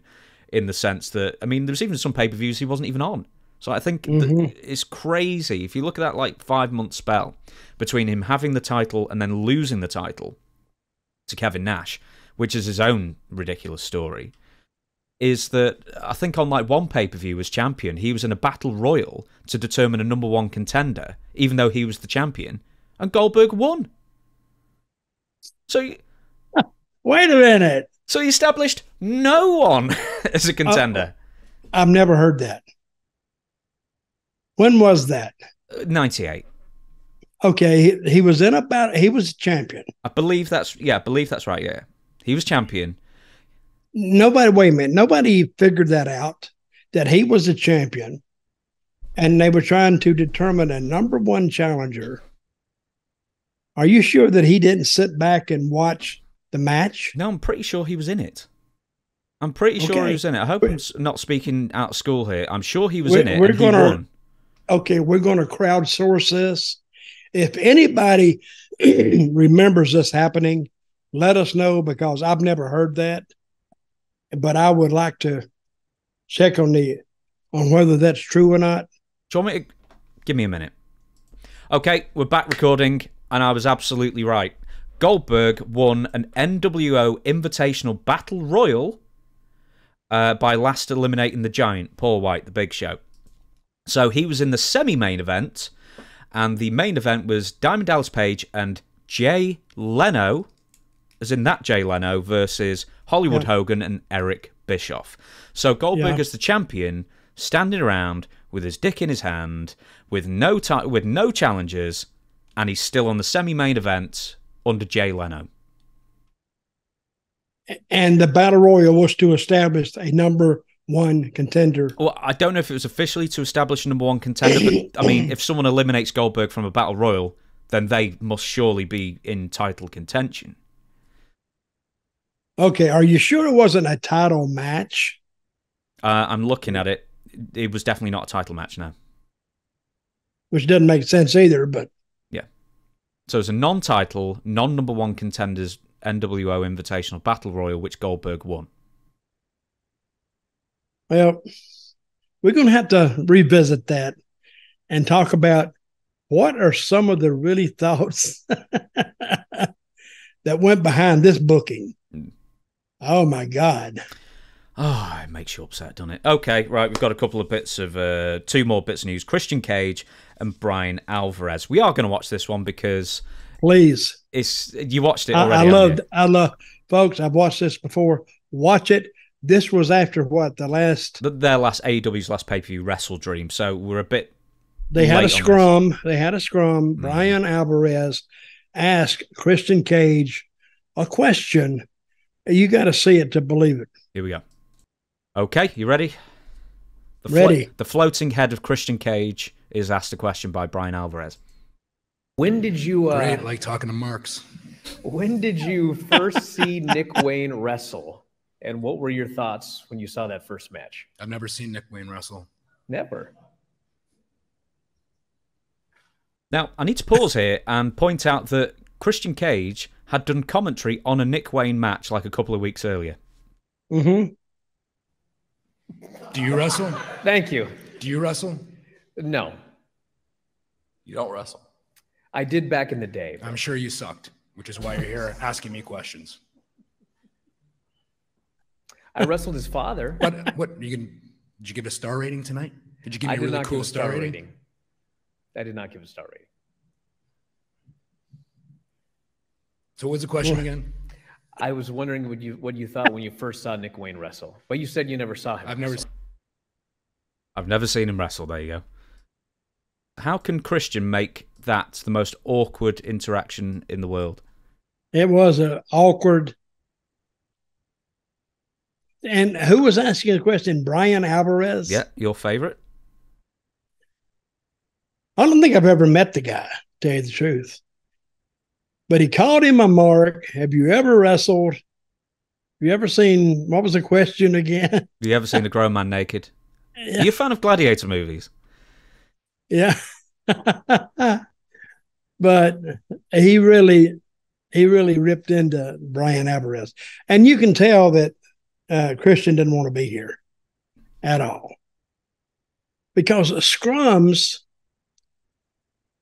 wrestlers aren't used to scrums after the match. I And especially Why would what? Well, I wouldn't mind if they didn't just immediately break kayfabe after the pay per view that they just wrestled on. I Like, don't I mean- understand that. Yeah, just stay in character. Like, why just give it? Um, yeah, we all know what it is, but why just ruin the illusion within minutes of the big show that you paid for? hmm I don't get it. Does WWE have these? Mm, to a point.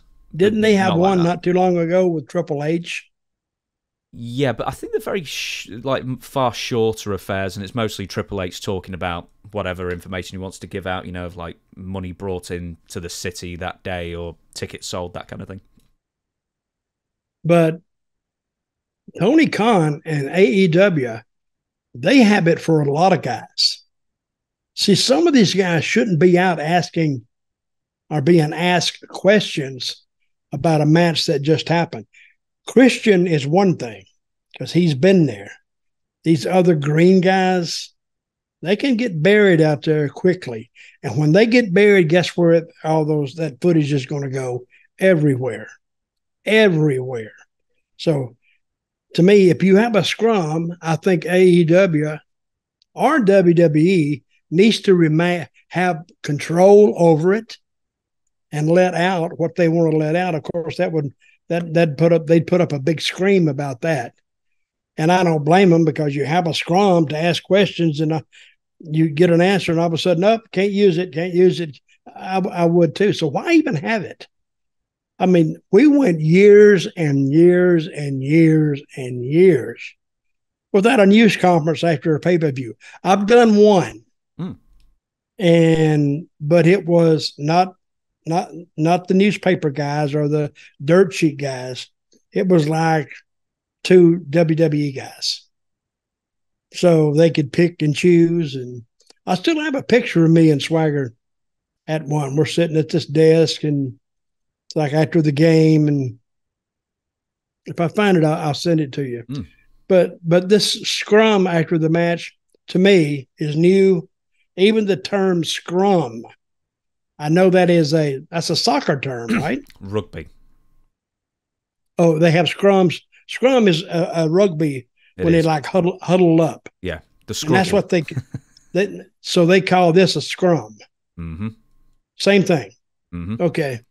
But rugby is when they all get together and they throw the ball and they kick it out or wherever it goes. Mm-hmm. Okay. Yep. Uh, is So- Christian the greatest shit disturber in wrestling today? Well, in that in that particular case, he was because. But see, those guys love that because he's talking to them. He makes them somewhat a star by getting kind of embarrassed and humiliated. See, the people they don't see it that way, but between Alvarez and uh, Christian, they do. So you could tell there's a little animosity between those two and you could tell Christian didn't want to be out there, but he went out there. Christian is probably one of the best they got right now because he, he never comes out of character and he understands what he's trying to do. So I wish that maybe uh, Edge had been received a little bit better or they handled Edge's return a little bit better. But still, the angle between Christian and Edge is still intact. Mm-hmm. The last bit of news: the retirement of Sting came out on Dynamite yesterday as we record this. It'll be two days Yep. ago as this comes out. Sting talks about the guys he travelled up and down the road with, the influence. Uh, in fact, actually, before he does that, Tony Schiavone. So, and I always love it when Tony Schiavone does it. This is Sting, and then Sting comes out, and it's great. Uh, Sting talks about the guys he travelled up and down the road with, the influences in his professional career, and everyone boos Hulk Hogan, but everyone cheers Ric Flair, and everyone cheers Dusty Rhodes, of course. And why Sting and other older wrestlers keep coming back to wrestling. They'll retire. I mean, Terry Funk's the most famous for it, and then they just can't help themselves. They, they come back for a variety of different reasons, but mostly for, if not financial, the roar of the crowd and everything uh, in his original retirement, which he says is 2015, but you're gonna, I know you're gonna dispute that original retirement. Says he didn't sit well with him. That the one thing that is for sure about Sting is that nothing's for sure. Sting announces in the great state of Texas that his last match will be AEW Revolution 2024. So no date has been given for that pay per view, but the 2023 Revolution was in late March. So we're looking like it's going to be late March of 2024. Sting says the one thing sure about Sting is that he is absolutely retiring at Revolution 2024 when he will be either 64 or 65. Uh, his birthday's March 20th. So, you saw it. I thought it was. I thought it was. Well, forget what I thought. What do you think? Oh, it was okay. People liked it. I mean, they like they like to see Sting. He said in there that he is not made for some kind of matches. I tell you what, he's not made for is diving off ladders on the tables. that almost killed him, and I'm uh, and it was his idea. It had to be his idea to do that. But and I think the people felt a little sorry for him. Really, he's trying to do stuff that he really wouldn't have done back in his back in his prime. Probably somebody said, "Hey, why don't you jump off this ladder, dive off this ladder onto this table, and we'll break the table." He'd have said, "Are you nuts? I'm not doing this." But he gets to 64 years old. Oh, I, I'm gonna I'm gonna prove I'm going to prove I can still do it. But he almost he almost killed himself. He really did. So, and I remember that he had retired before. I think in 2003. Essentially, when, uh, when three, I think when WCW essentially well closed, it definitely closed, and then he was doing a couple of shots here and there for like the Australian WWA company or whatever, but he was essentially retired. And then Dixie Carter and the old checkbooks out. Yeah. And then she wrote it. She wrote him that big check, and all of a sudden, his retirement plans were put on hold, and he went out there. But see, the deal is when you get a guy that's retired, kind of like that, it's hard to do anything with him because. And back in, he would have been like the mid 40s then are coming up on 50. Very hard to do. Well, it's not hard to do, but you got to watch what you do with this with, with a guy like Sting because you got to protect his image, you got to protect his legacy and his health. You got to protect all that and keep him keep him competitive and keep him strong. So that's quite a bit to put on a, a, creative team. But you can't build the company around him either. No, you can't. See, when you talk, that's that's one guy. You can't. You can build a company around one guy, but you got to be slowly filling in the blocks. Who's he going to face? Who's he going to wrestle? You're going to build your heels, and you can run them through Sting. You can do that for a while. It'll work for a while but then you better have a plan or some more people coming along that when this angle when this angle dies down, you got one right here, and when this angle goes down, this one moves in its place. Then this one goes here, the or the competitors go here, and it's continually revolving like that. Otherwise, you get stuck with downtime, down periods, or just periods that just don't succeed at all. See, the WWE in the last six months or the year, they've done a tremendous job. Now they have a bunch of people over with the crowds. So I think when they put on the show now, it's almost like an all star show because a lot of those guys, they've done something with them on TV, they've made them interesting. So when they have a match, doesn't matter who wins, people see a good match. And with competitive people and people they know, it's not like putting Joe Smo out there against Leonard Brand or whatever. They know these people, even the underneath guys. And I say underneath, I don't mean underneath in a demeaning manner. I mean underneath guys are like your first, second, and the third match. They're they're filling out your card. But even they're starting to mean something. So when you can get your card looking like that, you got a great card. You do. But and you can't. And they've been trying to run on Roman Reigns, but they had no baby faces because they used them up. Now they have those for for Roman. You you know he's he's got Cody coming up, got Gunther coming up. I mean, he has opponents that could step in there and, and handle this. Uh, my my thought is, who is the who is the next big heel? Unless it's got to be Gunther, don't you think? Hmm? Could well be. Because I think he they have put him over in such a way, not a lot of screw jobs, if any, really. And putting him, he needs to be put with guys who can take his take his brutality. And if you know, if they get beat, they get beat. I don't think it hurts anybody to put in a hell of an effort against Roman Reigns in a match and then get pinned because eventually it's going to work. Somebody, if you had a real fight on the street, somebody would win if it's a fight to the finish. I've never seen a DQ on the street unless the police come in. So I think they, they're in a good spot. That becomes a no But- contest. Well, yeah, but that's like both guys they're pulled apart or something like that. That that'll take you so far too. But uh with um with Sting and the retirements. Now I said in the preamble before that he said that the first time he retired was in 2015, but that's not really true because the old the old joke was, and you've said this before, is that Sting would retire every single time his contract was about to come up in TNA. Oh yeah, and then wait for somebody else to write a check. It's like Ric Flair, my last match. Now he's talking about I want to have another match. Well, you can get somebody to to foot that bill. Uh, Sting was getting about half a million a year back in TNA, uh, and then he'd retire. and everybody everybody bitching about it and i don't blame him he's yeah and what was do, do you have a figure on uh kurt angle in TNA. yeah I can have a look one sec.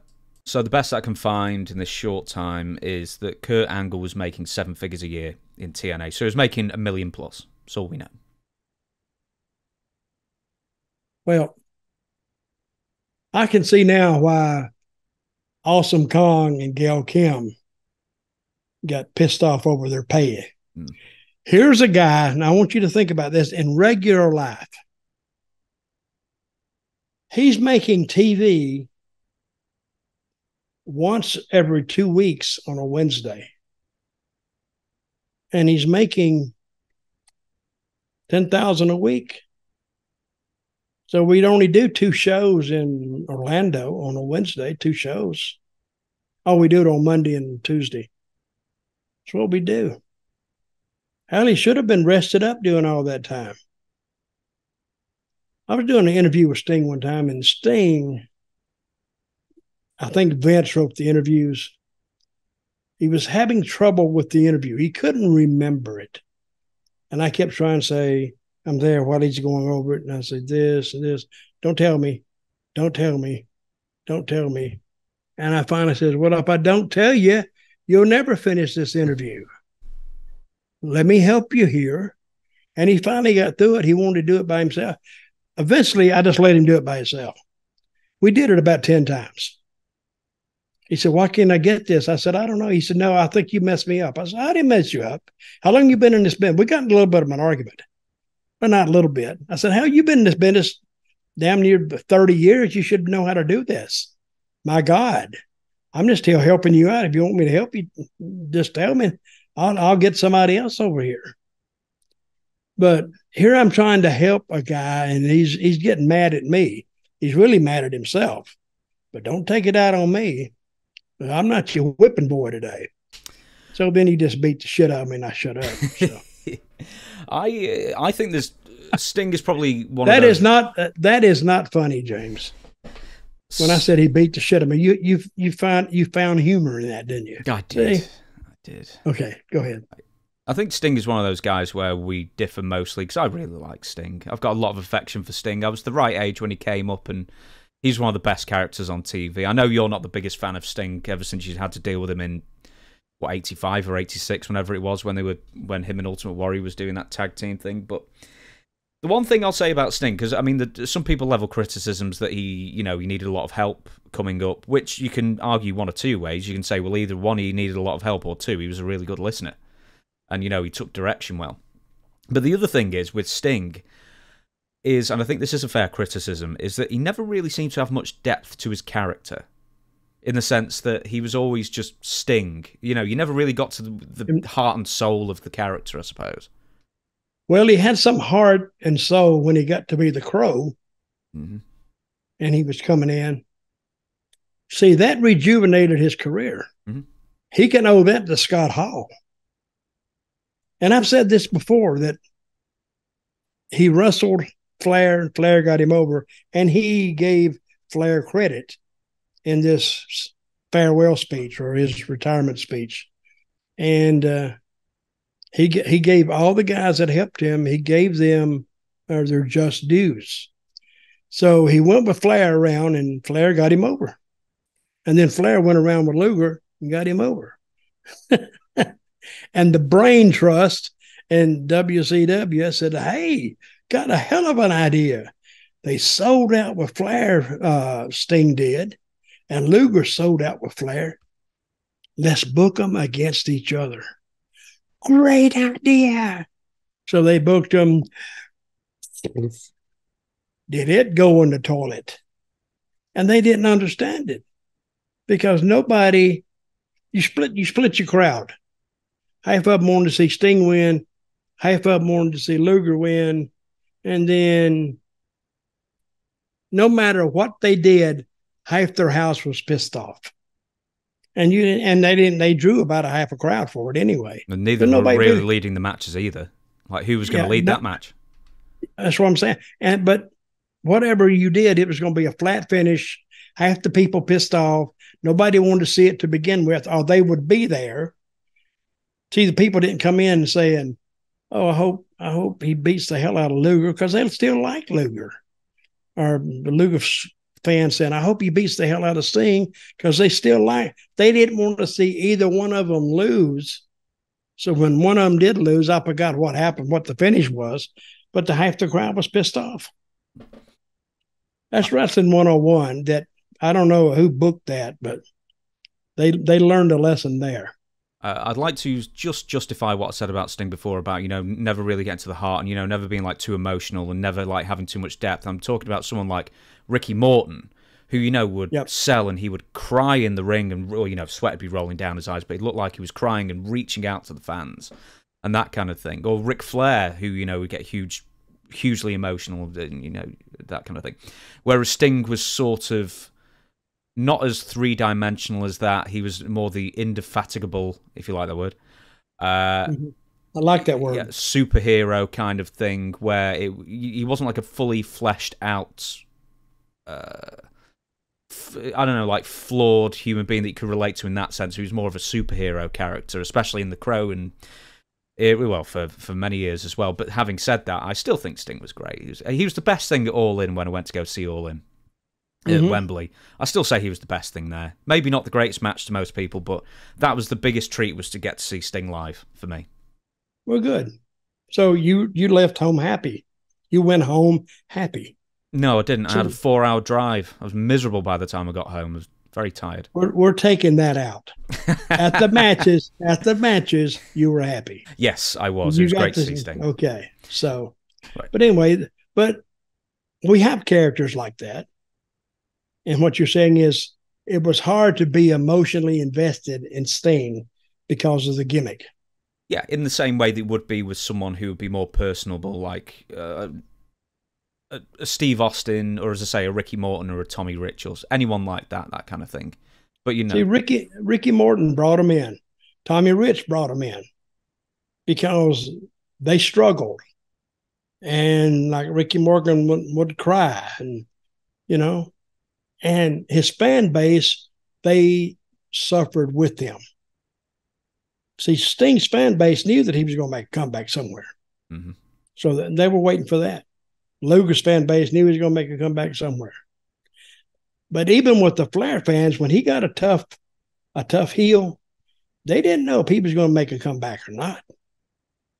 So, but that's one of the things that makes this business unique. Every character is different. Every character has to be treated differently, and unless you do that, uh, you, you're just you're you're asking asking to you're begging for trouble. You're borrowing trouble, and it will come knocking on your door too. Now, in the 10, 15 minutes, something like that, we've got left in this podcast, I thought I'd ask you some WCW questions now.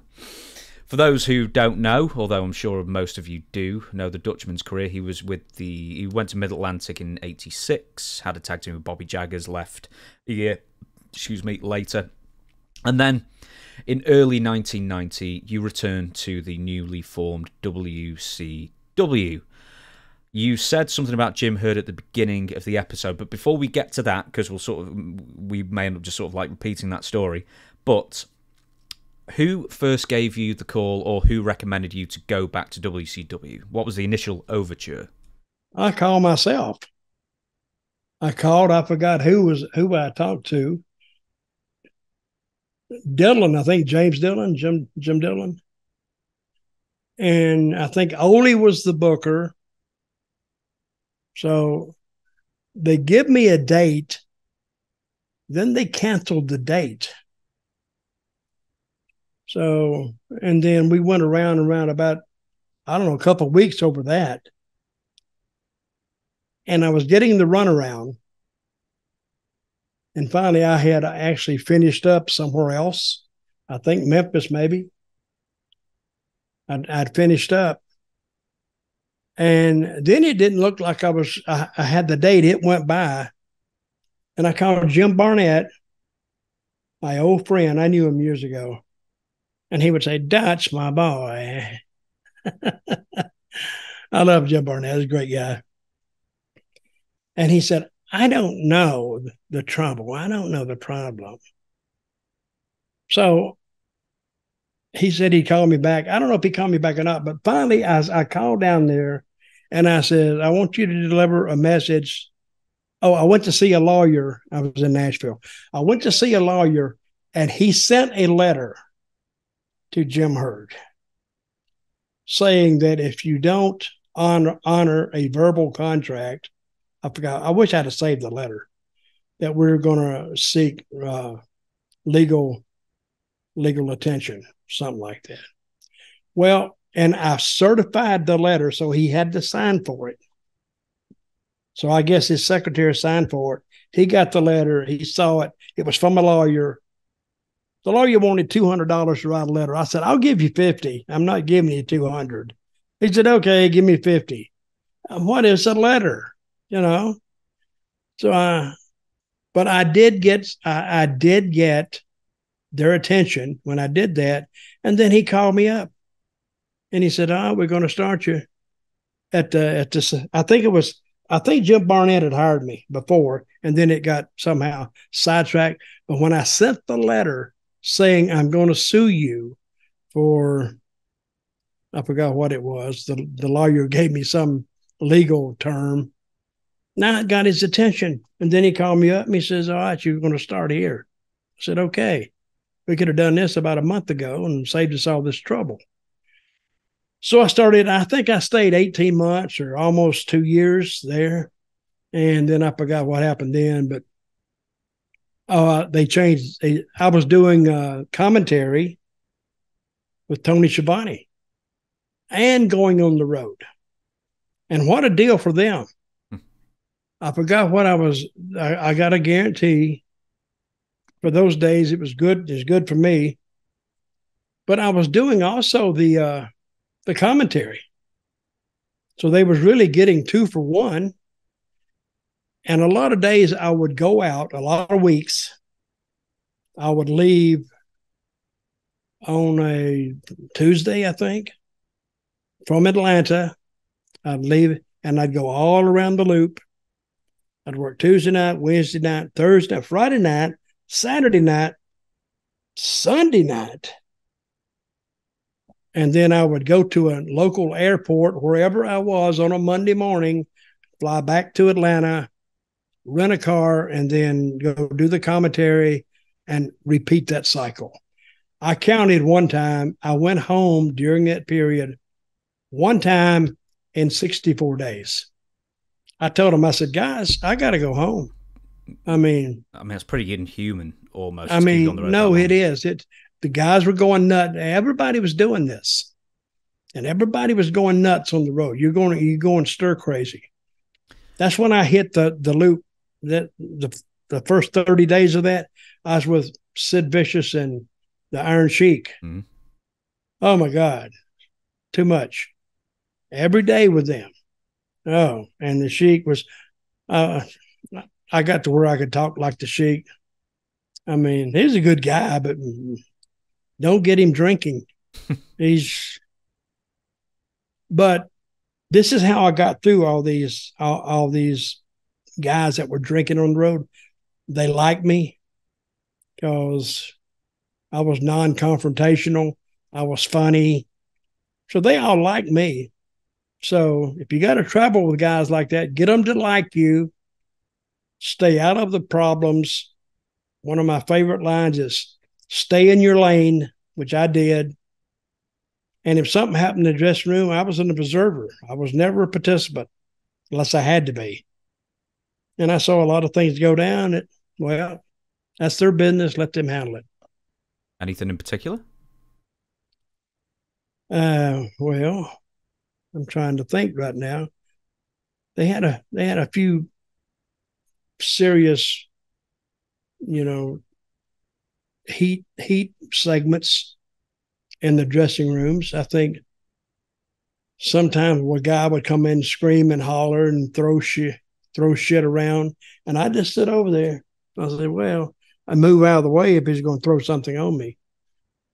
A lot of times, the guy that they're mad about is not in the same dressing room, so no need to get involved. But there's there's a few things, but I can't remember any right now, other than that fight I had with uh, Roberto Soto. I, I remember that, but I've told that one. Uh, WCW contract, were we talking six figures or were we talking higher five figures for you? Six figures. What do you mean? Well, was it a hundred thousand or more per year? Uh, it was a little. It was a little more than that, but that was good money. That was good. Listen, I, I was coming off a uh, not a run, but everything else was dead. Memphis was dead. Well, that's what I want to ask you. I mean, how much was Jerry paying was you? not much. One one good thing about Memphis, they paid weekly, very damn Mm. weekly. But Florida was dead. Texas was dead. There was no literally, literally nowhere to go. You either went to WWF or you went to WCW. ECW, it was just Didn't exist. it existed, but he used he used his own crew. No, no uh, Eastern Championship Wrestling was in 1992. So you you'd left WCW before ECW was ever even a thing, and even and in '92 it was just bar wrestling pretty Uh-uh. much at that point. Well, it was independence, is what it was. Mhm. It was independence, and the independents, they had that independent attitude. They were just starting out, and they wasn't paying any money, so I needed a regular place to work. So WCW, the only reason I went there is because they give me a regular check. With that being said, USWA versus WCW, what were the houses in 1990 for each promotion? Well, WCW wasn't, they weren't beating the doors down, but they were paying off TV. They had a different pay scale, a, different pay mode. Memphis, uh, oh, the remake of USWA just paid off the house. It was horrible. You could not make a living there. You could not make a living. You by the time you take your road expenses and the wear and tear on your body and the car, nah, it's not worth it. And I don't think they were running five days a week. I think they were running like four. It, it was a mess. Let me say that. Uh, You were better off not going. we'll do probably review your very first match televised with WCW, and then we'll call it there. Uh, the first match I can find that you had in WCW as WCW was against Italian Stallion, uh, a name that I'm associate just as much with bringing jobbers to TV as being a wrestler. You say what now? You Uh, Italian uh, Italian Stallion. He was one of the guys who used to bring in jobbers for you know Yep. TV for WCW and WWF at the time. Mhm. Any stories Yep. on Italian Stallion? not really. He was just one of the guys that they gave him a different name instead of just job job guys. They called them enhancement talent, and they were there to just put over the regulars. And I went there first, and they put me over a couple weeks. Then I became like a regular guy you could beat. So, but I was I was I was up there in age anyway, so there's nothing. I don't blame them for what they did. They finally honored their end of it. I honored mine, and there was no problem. Other than they then they just run me to death, but they ran everybody to death. Right then, let's review your very first match in WCW. And one sec. Okay, and here we go. Wet, that's loud. Paul Drake. Introducing to my right from Do you remember this? Wisconsin, Do you remember that guy? 234 pounds, Who's that guy? Paul Drake. Never heard of him. His opponent from Oil Trough, Texas, weighing 200. Looks like he was swimming in Oil Trough, Texas, that guy. Very greasy boy. Oh yeah, what a handsome fella I was. Ruggedly handsome. Ruggedly handsome. Did you hear that? Or just downright dirty. Did you hear that? Yeah, that's that's Jr. talking about guess he me. would be categorized as ruggedly handsome in some estimation, or just downright dirty, Dutch, and ugly.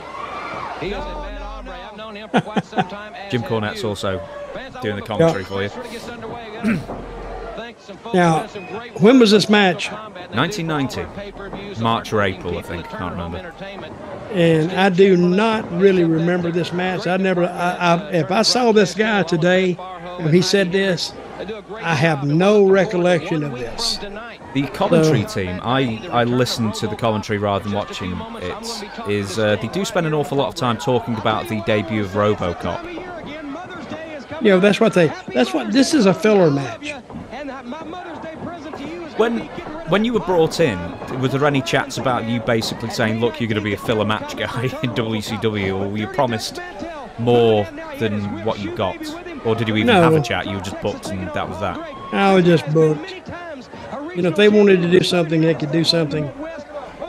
And I, I may have thrown a few ideas at them, but they had they had the Lugers and the Stings and uh, and the Flairs. They had enough problems on their hands with those guys, and for me trying to get in get in their ear. Yeah, do you Oh, want and this to? is when they this is when they had that 900 hotline. 1 900 909 9900, $2 first minute, 45 cents each additional minute. Kids get parents' approval. Which I. what kid would ever get a parent's approval for that? That's Oh, like. no. Bring him right up. Do you know, we. They're ruggedly handsome again, Cornette just said. You know, obviously people talk about your mustache as a prominent feature of you, but I don't think people talk about your strong mullet game in the early 90s. No, it was that was pretty pretty strong out there. See, they talk about my mustache. They don't talk about my beard because it's, it's a regular beard, but they do talk about the mustache and the hair on me. So There you go. I'm, I'm. I'm kind of a, a very hirsute. Is that the word hirsute, Harry? Hair suit. Yeah, do you know, funnily enough, I was watching a match the other day with Miguel Perez Jr. And I was He's thinking, hairy, too. I was thinking, who's hairy, you or him? Uh, I think he's he might be a little bit hairier than me. Oh yeah, come on, Dutch, beat the crap out of him.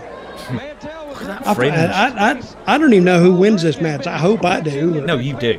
I mean, no one's heard of this guy. Well, that don't mean nothing. We could have been trying. They, they could have got a hair up their butt and said, "Oh, we're going to push this Frank Drake guy. He's uh, a."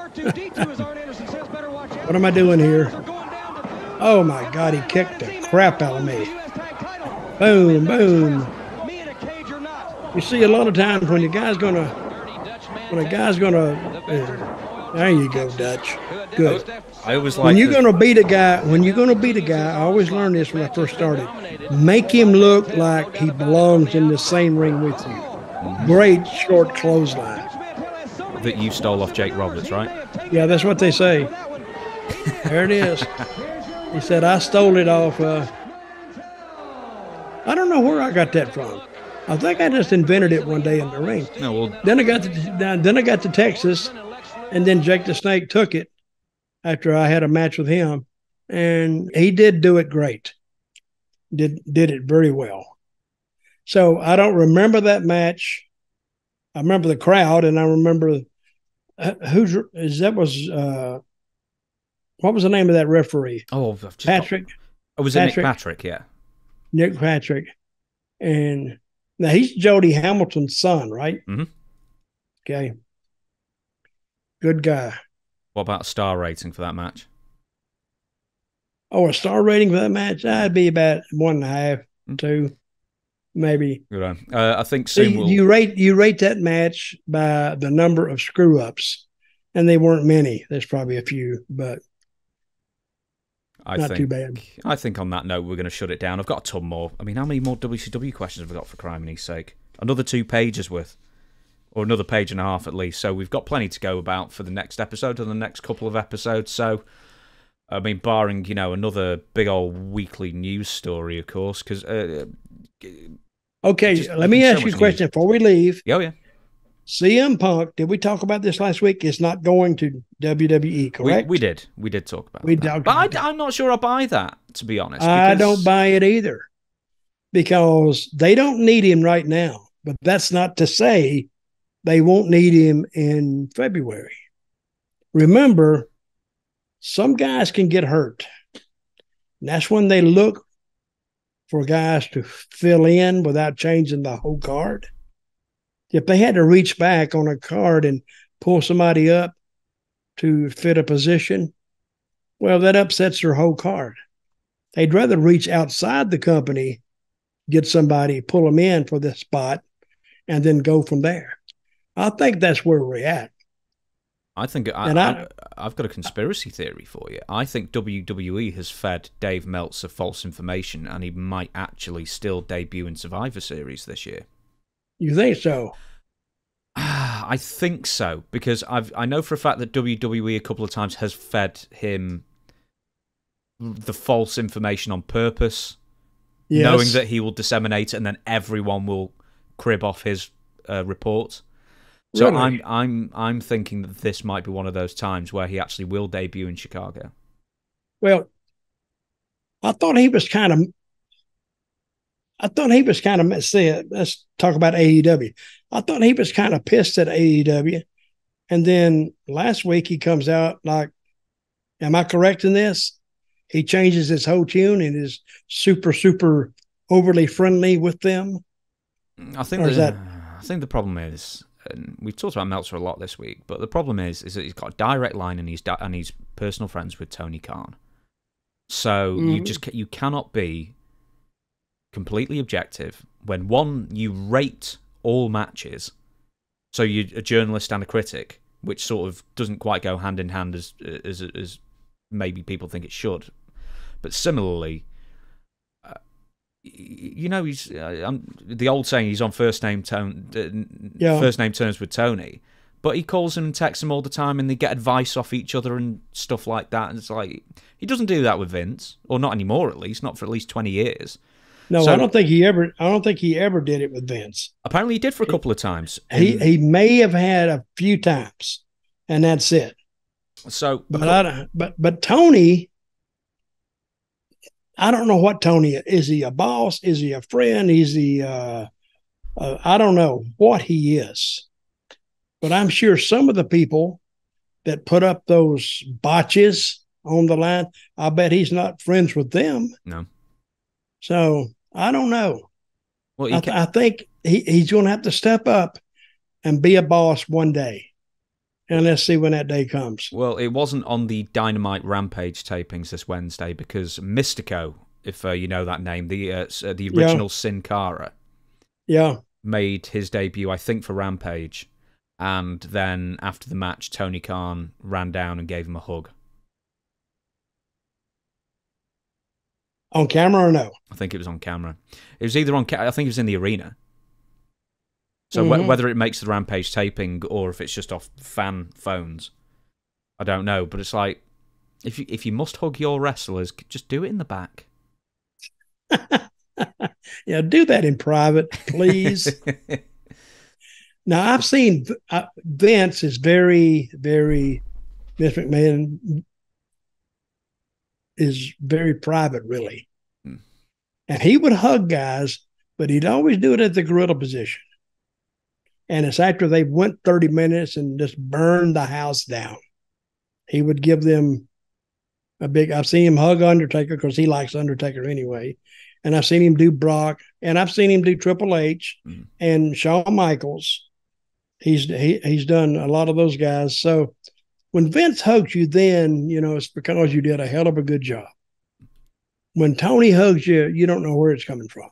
It be could be lonely. coming, it- mm, maybe, or it could be coming from friendship, or just glad you're there, or whatever. He said, "Oh, I'm glad you're here. Here's here's ten grand or something," and just give it to him and, and let him go. But I've seen Vince do it, but not very often. So I think the Undertaker's last match. Where where was that from? You remember? Oh, his last match was uh, that made-for-TV movie thing at one of the WrestleManias a couple of years ago. No, this was what? No, maybe. But he had a match. I think it was Brock. Brock. I think where was that? Houston, Oh, God. Not the one where he lost, was it? At WrestleMania? where he lost. Yeah, Yeah, that was at 30, so that was New Orleans. New Orleans. Hugged in there, big hug. But he kind of he kind of deserved it because the fans they were really really invested in that match and the looks on their faces showed you that how surprised they were. See, that's a record that when I kept hearing about it, okay, what was he, 28 and 0? Yeah, Or 20, what was the- 21 and 0, I think. Oh, 21 and 0. But anyway, at a, these were WrestleManias, right? Mhm. Okay. Nobody thought that would ever be broken. And then it got broken. And remember, the guy stood up with his mouth open, like, what the hell did we just see? That's the beauty in wrestling. Because I was looking around the dressing room and I didn't know the finish. And everybody was sitting around like, what the hell? And that is great when you can when you can fool a whole dressing room because they made sure this did not get out. And when you can fool a whole dressing room where the dressing room is saying, hmm, didn't see that coming. See, everybody thought Undertaker would beat would beat Brock, but he didn't, which was good for business. So and Undertaker, he don't give a crap one way or the other. Just pay him whatever he's got coming and let him go. So, and him and Vince are good buddies anyway. So, I think Taker felt he didn't feel obligated, but business wise, yeah, I'm gonna make this a hell of a match. and I'm gonna put him over. And he deserved a hug after that, let me tell you. Right, I'm going to shut down this podcast because if nothing else, I really need a piss. So thank you very much for watching. We'll catch you again on Tuesday. You need a what? A, a, a big, big horse piss. I really, really have got a full bladder at the moment for about an hour now. I was too polite to pause the podcast to go and have one. Okay, okay. So go and take take your little tinkle. Yeah, I'll give me a second. Let's let's do the thing. All right, thank you very much for watching, everybody. Uh, we'll be back on Tuesday answering your fan questions. You can submit your question to questions for Dutch at gmail.com. As we said at the beginning, we've got books, we've got diplomas, we've got t-shirts somewhere as well. You know, all links are in the description if you want to support this show and get some merchandise at the same time. But for now, thank you very much, Dutch. We the people. We the people.